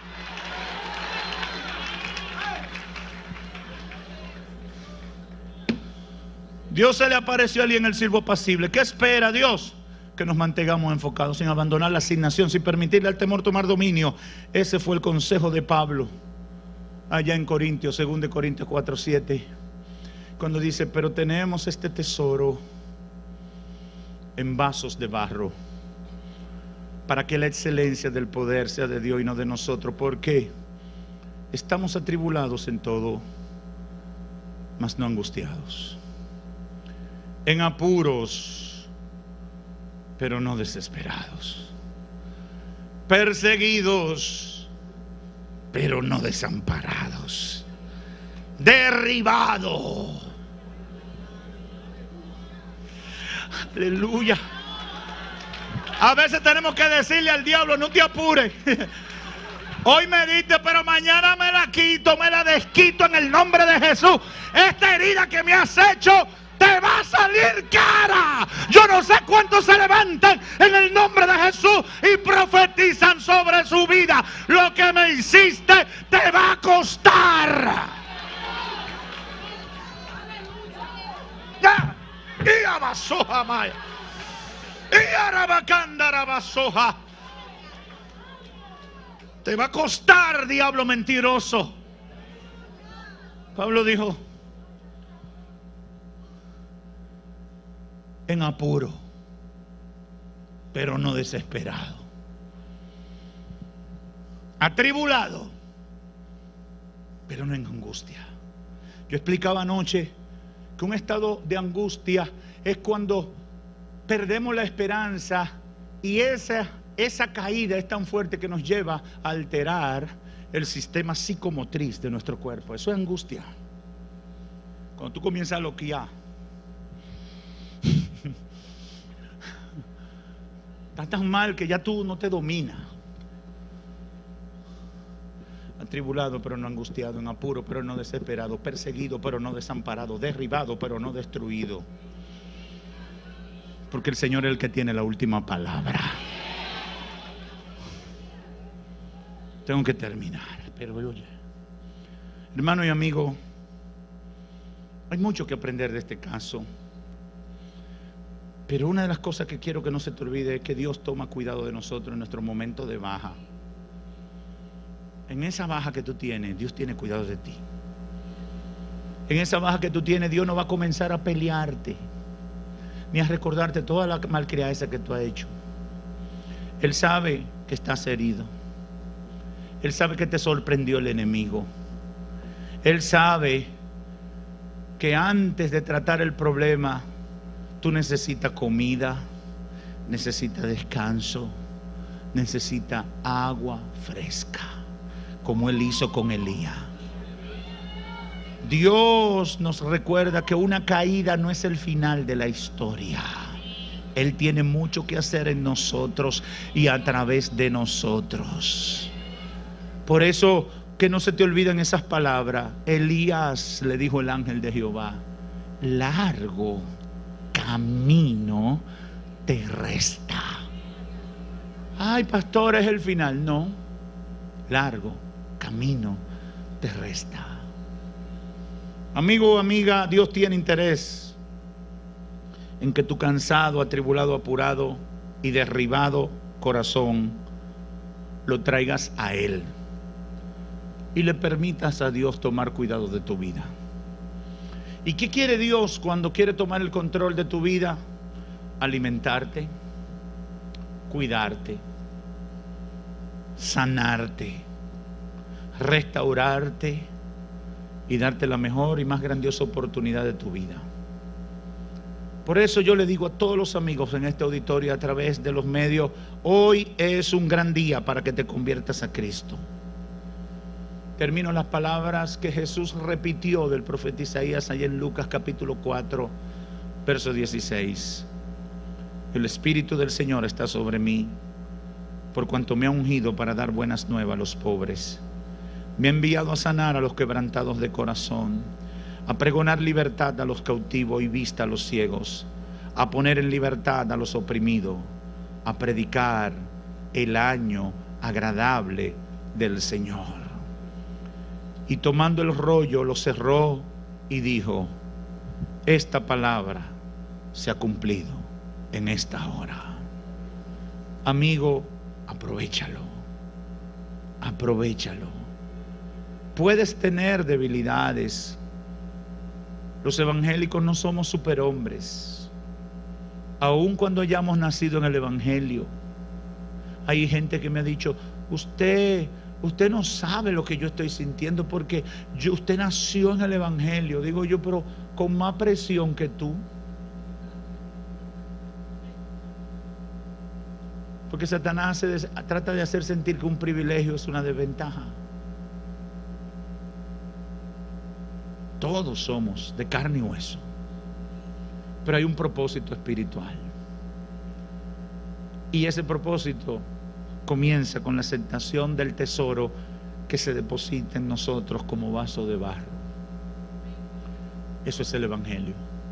Yo le digo a todo el que me ve, me escucha o está aquí, recibe el Evangelio de Cristo. Es lo mejor que te puede pasar. Que Dios te bendiga. Padre, gracias por tu palabra. He dado lo que me diste, Señor. Lo he entregado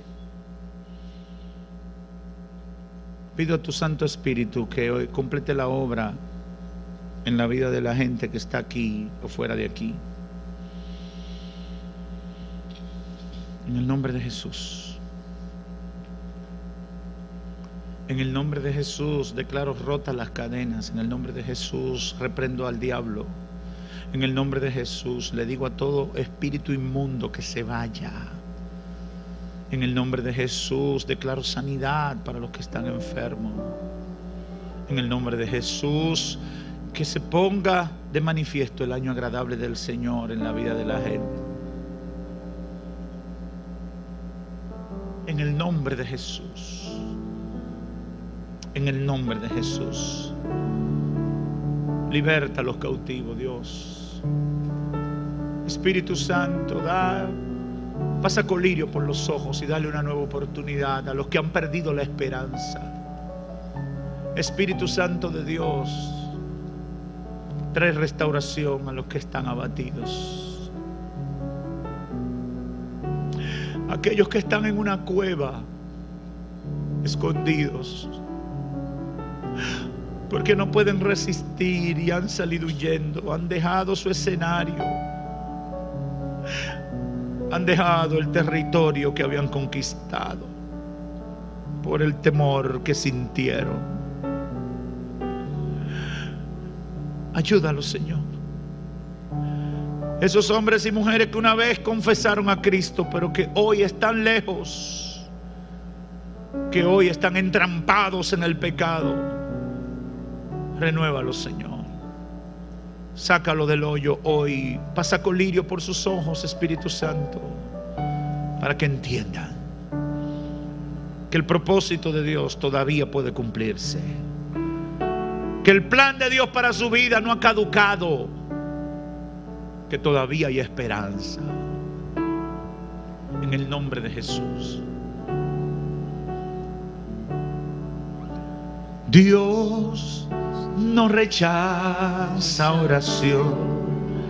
Oración es alimento.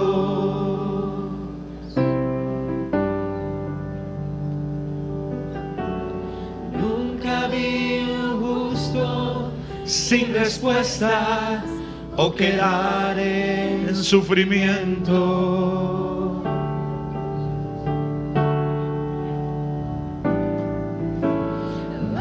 Solamente esperar lo que Dios irá a hacer.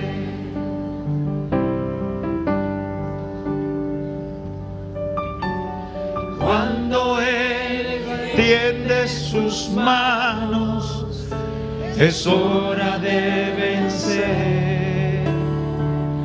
Oh, simplemente alaba. Si estás llorando, alaba. En la prueba, alaba. Si estás sufriendo, alaba. No importa, alaba. Tu alabanza Él escuchará. Dios al frente abriendo camino. Levanta sus ángeles contigo a luchar. Él abre puertas, nadie puede cerrar. Él trabaja para los que confían. Camina contigo de noche y de día. Levanta tus manos, Tu victoria llegó. comienza a cantar. Y alaba a Dios. Habrá alguien aquí que alabe. Alaba Habrá alguien aquí que rompa los cielos. Alaba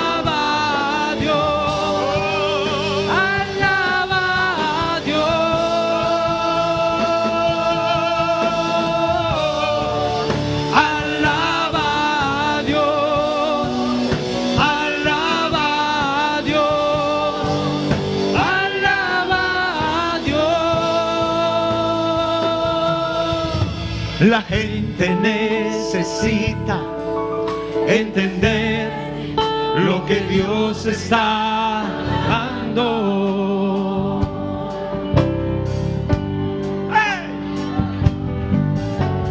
Cuando Él se queda en silencio, no se fue, no te dejó solo, está trabajando.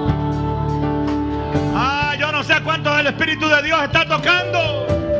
Basta solamente esperar un ratito, Lo que Dios irá Un a poquito. hacer. un poquito. ¡Eh! Cuando Él levanta Sus manos es hora de vencer.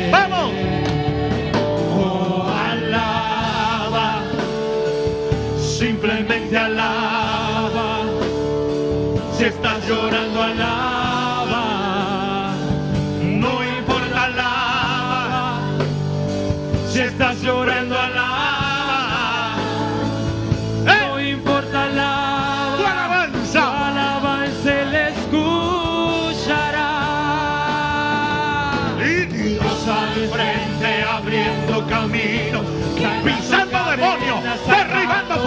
fortaleza, quitando obstáculos, quitando posición, quitando lo que el diablo ha puesto en el medio, en el nombre de Jesús. Él trabaja para los que confían, camina contigo de noche y de día. Levanta tus manos, victoria llegó. Comienza a cantar y alaba a Dios. ¡Alaba! Alaba Necesito toda la gente de altar de servicio. Aquí se ha metido Dios.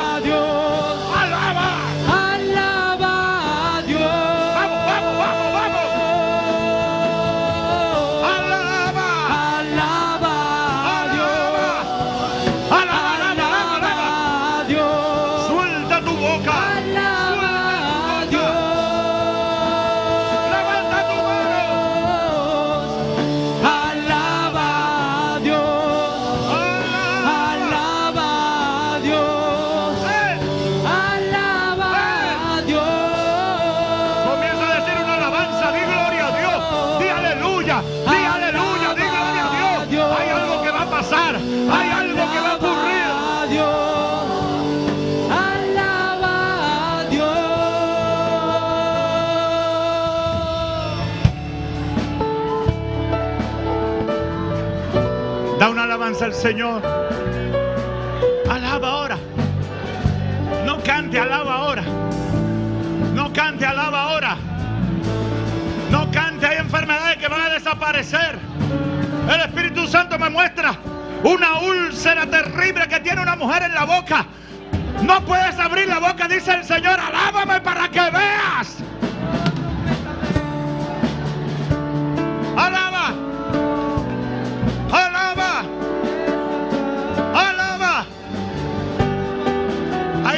De depresión que se van en esta hora cuando tú alabas.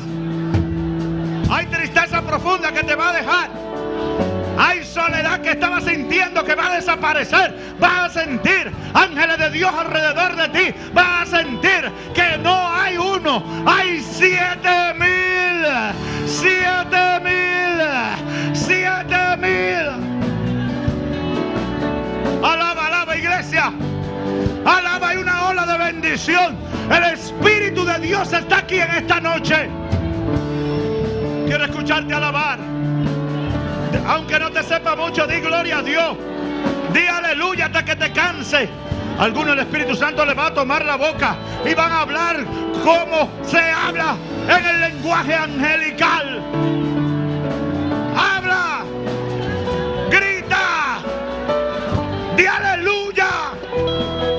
El diablo no puede oír tu alabanza. El infierno retrocede. El infierno retrocede.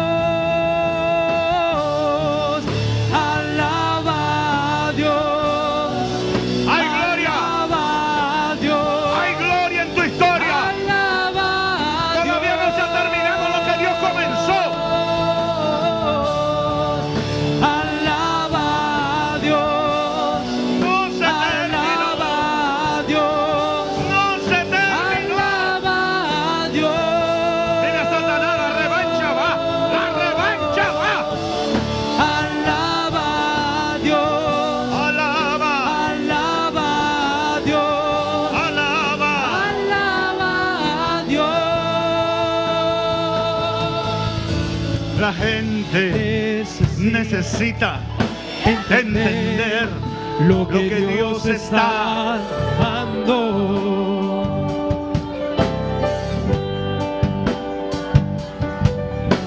cuando Él se queda en en silencio, silencio.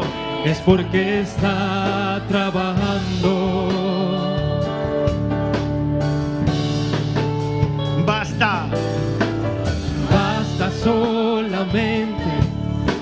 Esperar lo que Dios irá a hacer.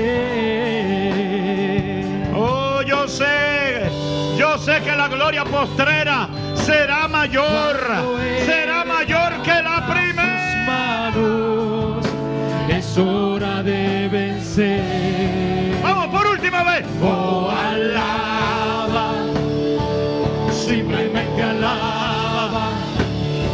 Si estás llorando, alaba. En la prueba, alaba. Si estás sufriendo, alaba. No importa alaba, No es como te sientas. No es como te sientas. Es por lo que Dios ha declarado. Es por lo que Dios está haciendo. Es por lo que Dios ha dicho. Es por lo que Dios ha prometido. No es como te sientas. sus ángeles contigo a luchar. Salte de la cueva. Salte de la cueva. El Elías. Elías, no te quiero encuevado. Te quiero arriba. Te quiero en el monte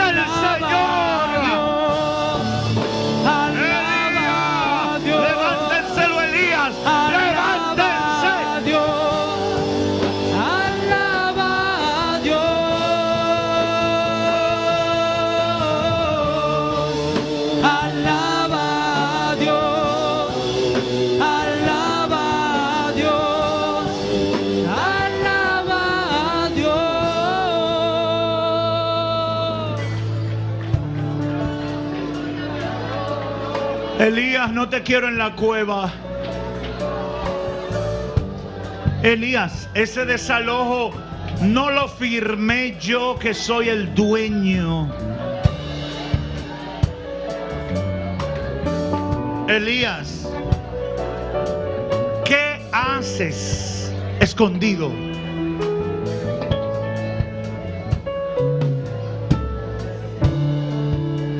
Hay fuego que tiene que bajar. Hay poder de Dios que todavía no se ha manifestado. Elías, no te escondas. Largo camino. Largo camino. Ay, pastores, que usted no sabe qué es lo que hay en mi casa. Largo camino. Largo camino. Todavía tienes que levantarte y derribar a Goliat y arrancarle la cabeza.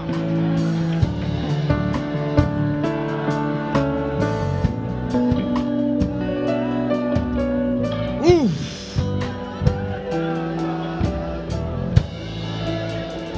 Yo quiero que todo el que quiere convertirse en esta noche, todo el que desea entregarle su vida a Cristo, se mueva de su asiento y venga aquí al altar. Todo el que se quiera convertir en esta noche y entregarle el control de su vida a Cristo, venga. Aquí hay un hijo pródigo. Aleluya. ¿Quién más? ¿Quién más quiere convertirse? ¿Quién más pasa al altar? El Señor te trajo para salvarte en esta hora. Dios bendiga otra vida. ¿Quién más? Sigan pasando. ¿Quién más? El Señor te trajo para salvarte. Aquí hay otro hijo. ¿Quién más? ¿Quién más? ¿Quién más? Ven. Ven. El Señor te trajo para salvarte, perdonarte, restaurarte, comenzar un trabajo. Hay gente que no quiere acercarse a Dios porque dice, el Señor me va a pasar la lista de todas las maldades que he cometido. Dios te bendiga. No. El Dios del cielo te va a dar comida. Te va a dar agua fresca. Te va a poner una torta en cuatro piedras ardientes. Y te va a llevar su monte santo. Y en el Monte Santo te va a dar la terapia que tú necesitas para ser libre de todas tus ataduras. Porque Dios trabaja con amor. Con firmeza, pero con amor. ¿Quién más quiere convertirse? Muévase de su asiento y venga al altar ahora. Tengo dos minutos para terminar este llamado. Dos minutos. Si Dios te trajo aquí porque te quiere salvar y no quiere que el diablo te arruine la vida más. Así que los dos minutos están corriendo. 120 segundos. ¿Quién más? ¿Quién más pasa al altar? Me puedes llamar al 809-813-4066. Llámame al 809-813-4066. Tengo gente aquí en el mismo templo. Tengo gente aquí esperando. Tengo gente aquí lista para tomar tu llamada. Tengo gente aquí. Llámame 813-4066. 809-813-4066. Gente que está en la cueva, gente que está descarriada, gente que está avergonzada, gente que Satanás le ha infundido temor. Dios lo quiere liberar.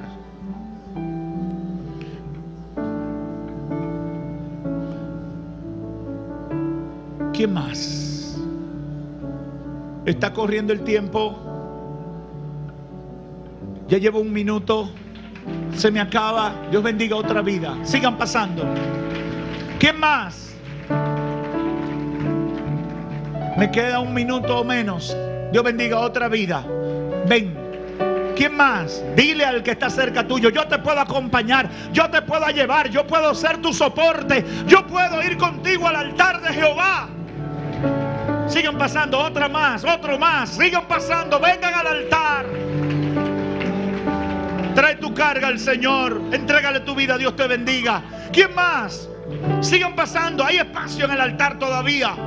¿Quién más? ¿Quién más se mueve de su asiento? ¿Quién más me llama por el 813-466? Se me acaba. Me quedan 45 segundos. Aquí está. El tiempo está corriendo. Cuando se terminen esos segundos, comienzo a orar. Me quedan 30 segundos. ¿Quién más? Aquí hay más gente. El Espíritu Santo me muestra más gente necesitada de convertirse a Cristo hoy, de reconciliarse con Dios, de acercarse a Dios. 20 segundos. ¿Quién más? Hoy puede ser tu último día. Aprovecha el llamado de Dios. 10 segundos. ¿Quién más? Otro amigo que se suma. Por última vez, ¿quién más? Voy a orar. Cierren sus ojos todos ustedes que están aquí en el altar. Tú que estás por los medios. No pare de llamar, no pare de meterte en la página de internet y buscar la pestaña que dice acepta al Señor. Hay un formulario ahí que nos va a llegar como el testimonio que leí. Voy a orar. Me falta alguien más que debe pasar. Hay tres personas que están aquí, que Dios lo tocó, que Dios lo llamó, que Dios tiene días, semanas, meses y años llamándolo. Ya terminó el tiempo del llamado, pero quiero decirte, si yo comienzo a llamar y tú quieres pasar, no pierdas la salvación, porque Dios te trajo aquí con propósito. Tú me dirás, yo vine a complacer a mi amigo, yo vine a complacer a mi mamá, yo vine a complacer al familiar. Dice el Señor, no viniste a complacer a nadie. Ese fue el instrumento que yo usé para que tú vinieras. Voy a comenzar a orar, pero me falta tres gente que están aquí, tocada por Dios, que saben que Dios lo está llamando y que hoy es el día de su salvación. No lo dejes pasar, que te vas a lamentar. Vas a llorar porque Dios no siempre nos llama. Hay un momento donde Dios nos llama. Hay un tiempo donde Dios nos llama. Después se presentan todos los obstáculos y no puedo atender el llamado de Dios. Repitan conmigo esta oración. Los que están por los medios también. En voz alta digan conmigo, Señor Jesucristo, te pido perdón por todos los pecados que yo he cometido. Reconozco y acepto mi responsabilidad. Y con sinceridad te pido, Señor, que me ayudes. A partir de hoy, renuncio al pecado y me comprometo contigo. Quiero hacer tu voluntad. Por eso públicamente te acepto como Salvador y Señor de mi vida. Ayúdame, Señor. Recíbeme, Dios. Amén. Quédense con los ojos cerrados. Iglesia, ayúdame a orar por ellos. Estoy esperando tres. Vengan. Estoy esperando tres que están aquí, están tocados. Y hoy no es la primera vez que Dios los llama. Yo voy a terminar la oración con esta gente, pero estoy esperando por ti. Este culto no debe terminar sin tú aceptar al Señor.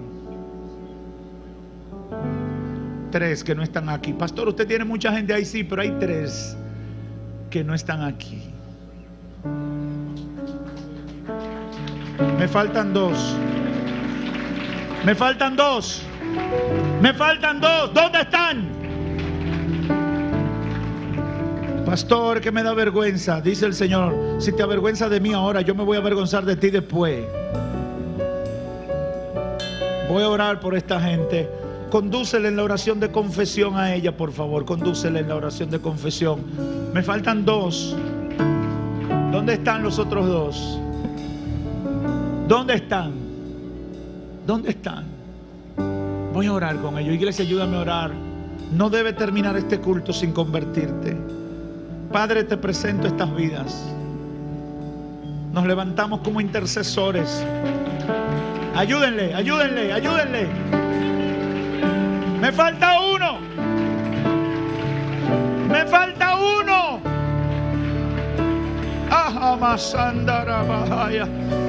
Guíele en la oración de confesión. Guíele, guíele. Padre, mira este grupo incluyendo a quien me falta.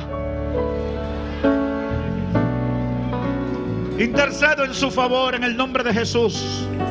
Me levanto con la autoridad de Cristo y le digo a Satanás, no tienes parte ni suerte en estas vidas.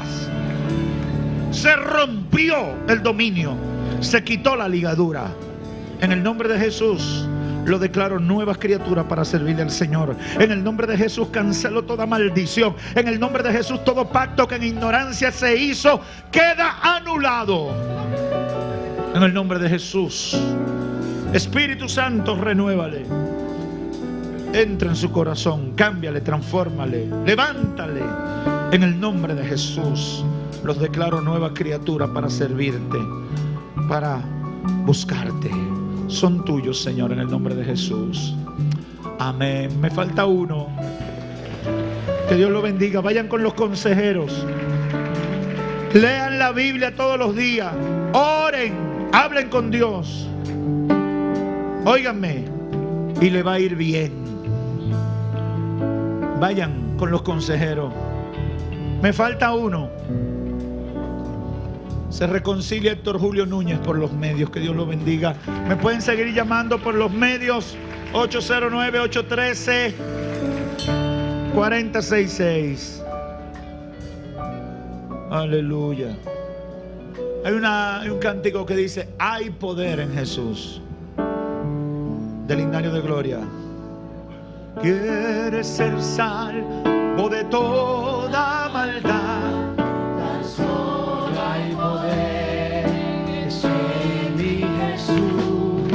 Quieres servir santidad. Tan solo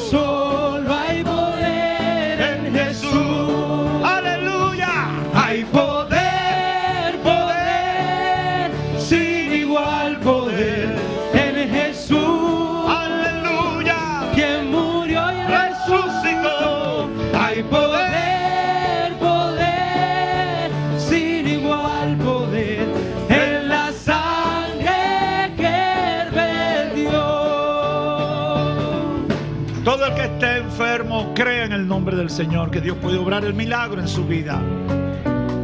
Todo, todo, todo. Quiero orar por toda la gente que está sufriendo dolores de espalda, por desviación de la columna, por vértebra- vértebras averiadas, o por hernias, o problema en, en los discos. Pasen mientras seguimos cantando y alabando al Señor. Resucitó. Y hay poder, poder,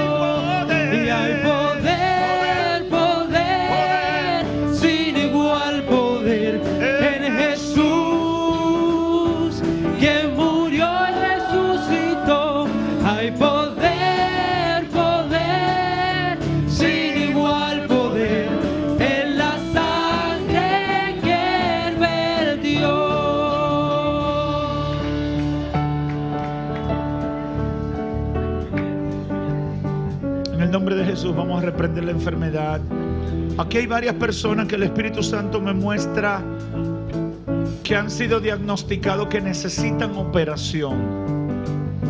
Yo quiero que me levanten la mano esa gente que le han diagnosticado que necesitan intervención quirúrgica porque de otra manera no hay solución para su problema. Yo quiero orar por ustedes y poner mis manos sobre ustedes. Voy a pedir que pasen aquí arriba, se me pongan aquí, me ayudan las gente de altar. Suban ahí arriba. Me hacen una filita ahí atrás. Mientras quiero orar por todos los que están aquí abajo. El Espíritu Santo va a tocar columnas y espaldas. Y hay hernias que van a desaparecer en el instante. Gente que va a sentir que se fue el dolor puntual que tenían. Prepárate para recibir tu milagro. No importa lo que estés sufriendo. En el nombre de Jesús, vamos a orar por ustedes ahora. Quiero que la gente de altar ponga la mano en el hombro de, la, de los que están aquí. Si me pueden ayudar, diáconos y ancianos de la iglesia, vengan para que me ayuden. Tenemos que orar. Esta gente que está aquí vino con fe y ha pasado en fe. Y en el nombre de Jesús ellos van a recibir lo que han pedido. Óyeme. En el nombre de Jesús. Vamos a orar. Quiero toda la gente. Necesito que aunque sea me le pongan la mano en el hombro a una persona. Necesito ayuda aquí. Me hace falta gente aquí. Aleluya.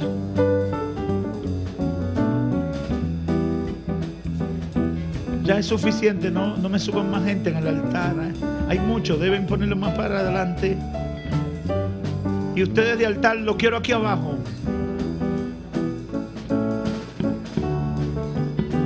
Vamos a orar, iglesia, extiende tus manos hacia acá. Hoy hay una sala de operaciones aquí. El Espíritu Santo tiene una sala de operaciones aquí.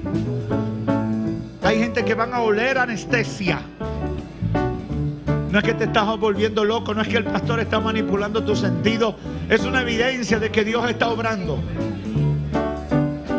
Ahora vamos a comenzar a orar. Iglesia, intercede, comienza a orar. Ora para que desaparezcan las hernias. Ora para que desaparezcan los tumores. Ora para que los nervios atrofiados desaparezcan, se sanen. Ahora, ora, ora para que todo dolor en la columna se vaya. Ahora en el nombre de Jesús. En el nombre de Jesús. En el nombre de Jesús. En el nombre de Jesús, toda vértebra desviada, salida, quebrada. En el nombre de Jesús. Ahora. Ahora. Ahí está cayendo el poder de Dios sobre ti. Ahora. Más. Más Espíritu Santo. Ahora. Ahora. Ahora. Hay poder. Hay poder en Cristo. En el nombre de Jesús me levanto contra ese dolor. En el nombre de Jesús le digo ese dolor. Vete.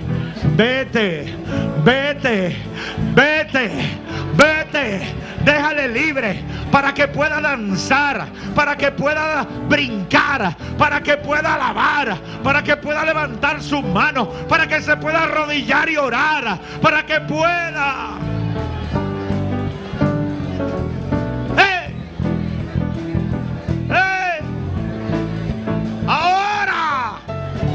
Aunque no sepa de dónde viene el dolor, aunque no sepa cuándo comenzó, aunque no sepa qué lo está produciendo, ahora en el nombre de Jesús declaro la palabra de poder y autoridad sobre tu cuerpo ahora.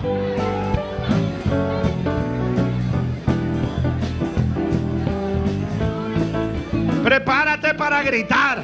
Prepárate para danzar. Prepárate para hacer lo que no podía hacer. Prepárate para doblarte. Prepárate para levantar tus manos sin dolor.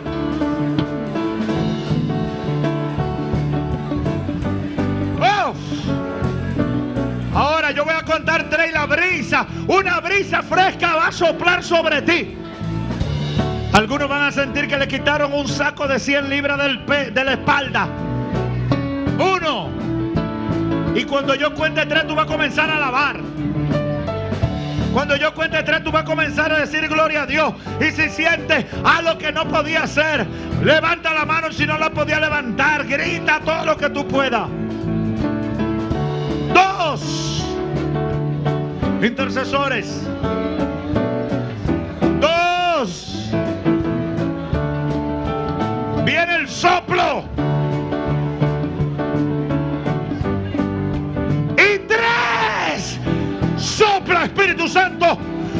Sopla, sopla, sopla, sopla, sopla, sopla, sopla, sopla, mas, mas. Sopla, sopla.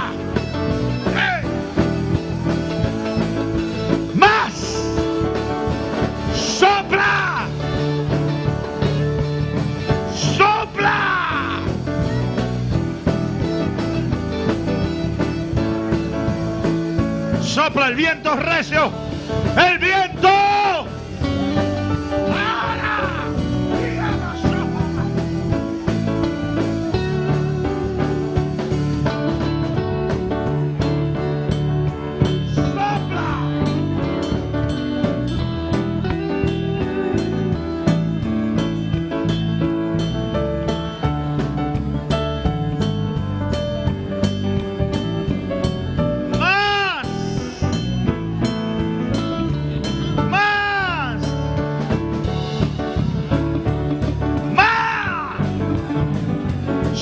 Sobre ella también.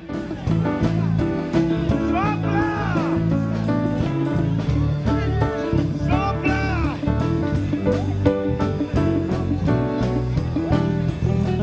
Más. Más. Más. Ahí está lo que no podía hacer. Ahora lo haces. Ahora lo haces. Mueve tu cuello, mueve tu brazo, mueve tus pies, mueve tu espalda, muévete.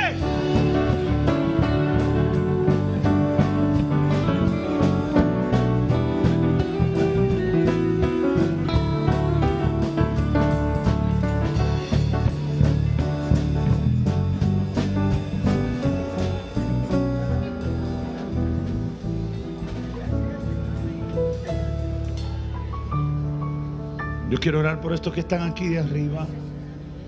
Ahora sí quiero ayuda.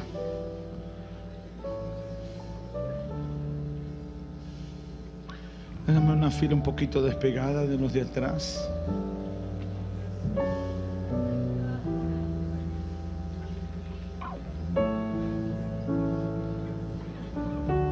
Necesito gente de altar detrás de cada uno. Hay un diagnóstico. Hay una sentencia del enemigo de tu salud que la decretó, la firmó y la selló. Y ha quedado evidenciado en informes médicos. Pero es el deseo de Dios que seamos libres de toda enfermedad. Por eso yo voy a imponer mis manos en el nombre de Jesús creyendo en fe que esta noche, en este instante, el diagnóstico de ustedes es cambiado. No por el vaso de barro, sino por el Dios Todopoderoso. Iglesia, extiende tus manos hacia acá. Vamos a orar por ellos.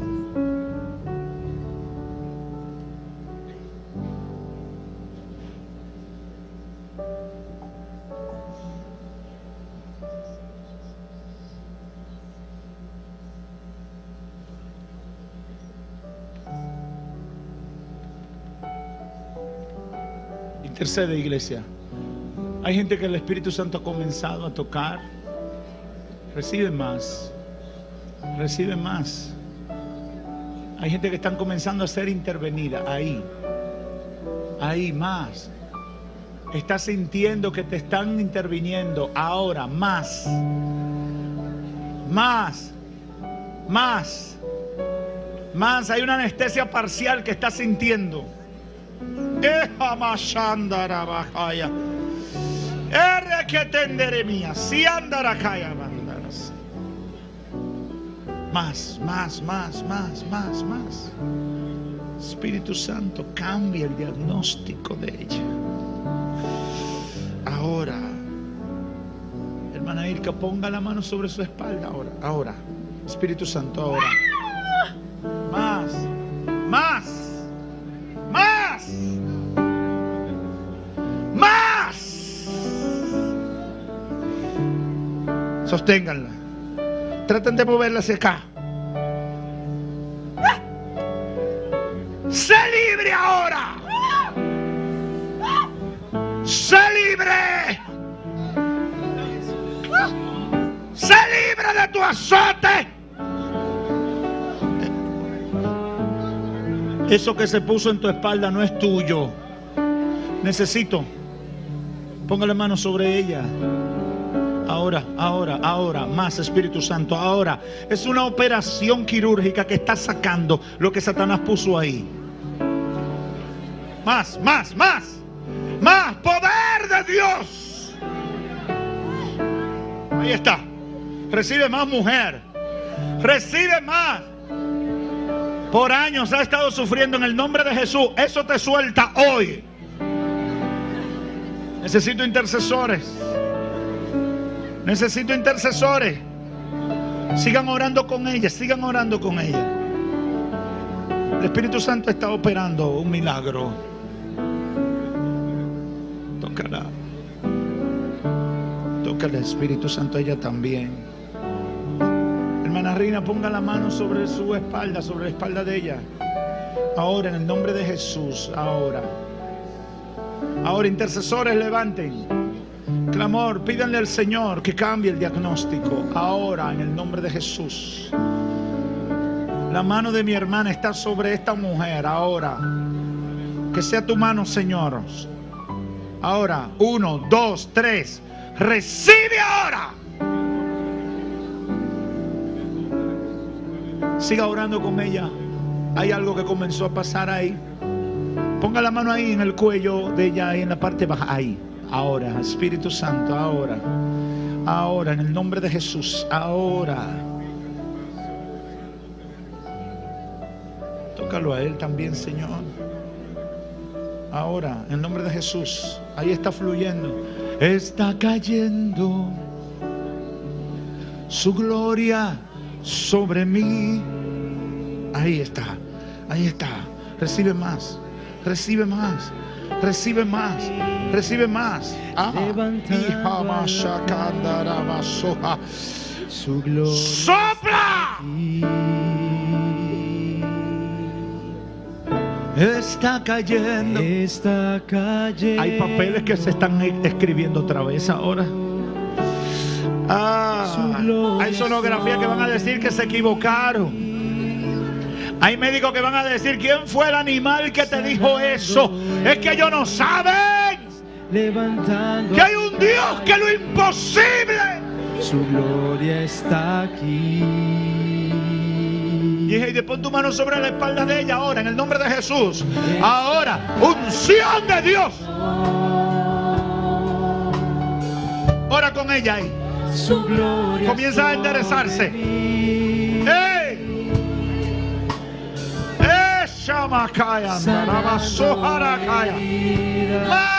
Levantando al. Espíritu Santo. Su gloria está aquí. Ahora desde la cabeza hasta los pies, anestesia esta mujer. ¡Anestésiala! Está cayendo. Recibe ahora. Ahí está. Su gloria sobre mí. Vayan sacándome los hombres y pónganmelo por acá. Ahora sí. Sanando heridas. Hermana Kenny, ponga la mano en su espalda.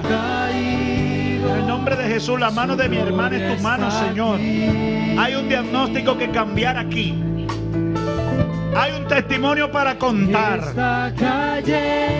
Si tú le has dado victoria en muchas cosas que ella te ha pedido. Yo creo que tú le das también la victoria en esto que te está pidiendo. Ahora en el nombre de Jesús.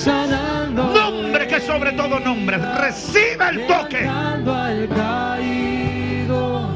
Su gloria.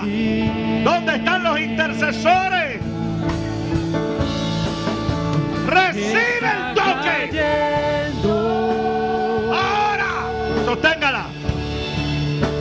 Su gloria sobre Recibe el toque. Ponga su mano sobre su espalda ahora.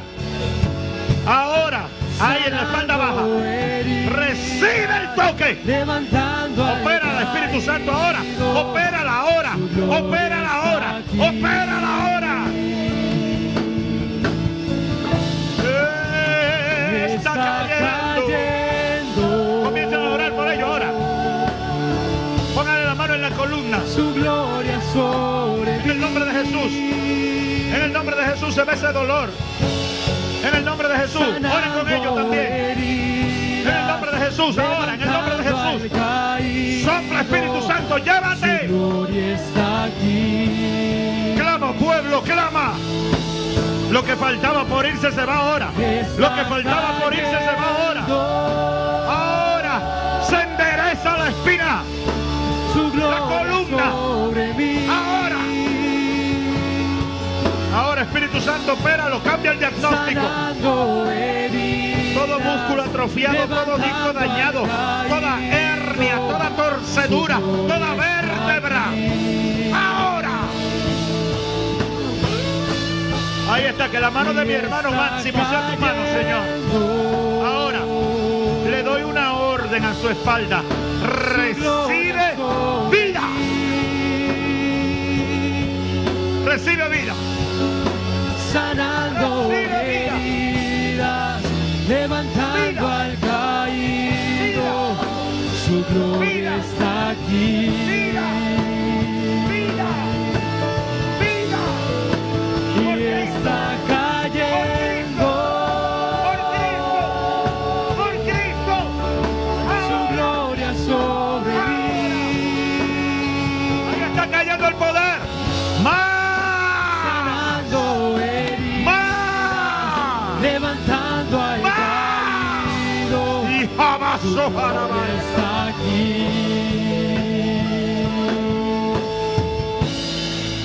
Espíritu Santo toca a todo el que está en este templo. Que en fe pide ahora. Toca a todo el que está por la radio, la televisión y el internet. Que en fe pide ahora. En el nombre de Jesús. Gracias por este culto, Señor. Nos vamos en victoria. Celebrando lo que tú has hecho. Aleluya. Calles, camino y carretera despejada. La iglesia sale victoriosa en el nombre de Jesús. Que Dios te bendiga. ¿Dónde está el que me falta por convertirse? No te vayas sin convertirte. Me falta uno o una. Yo no sé cómo es. Me voy a quedar dos minutos aquí en el altar mientras la gente sale, porque hay una persona que debe convertirse y no pasó en el grupo. Y es contigo que el Señor ha hablado. Para que Evangelístico del Centro de Fe y Restauración Espiritual Mahanaim.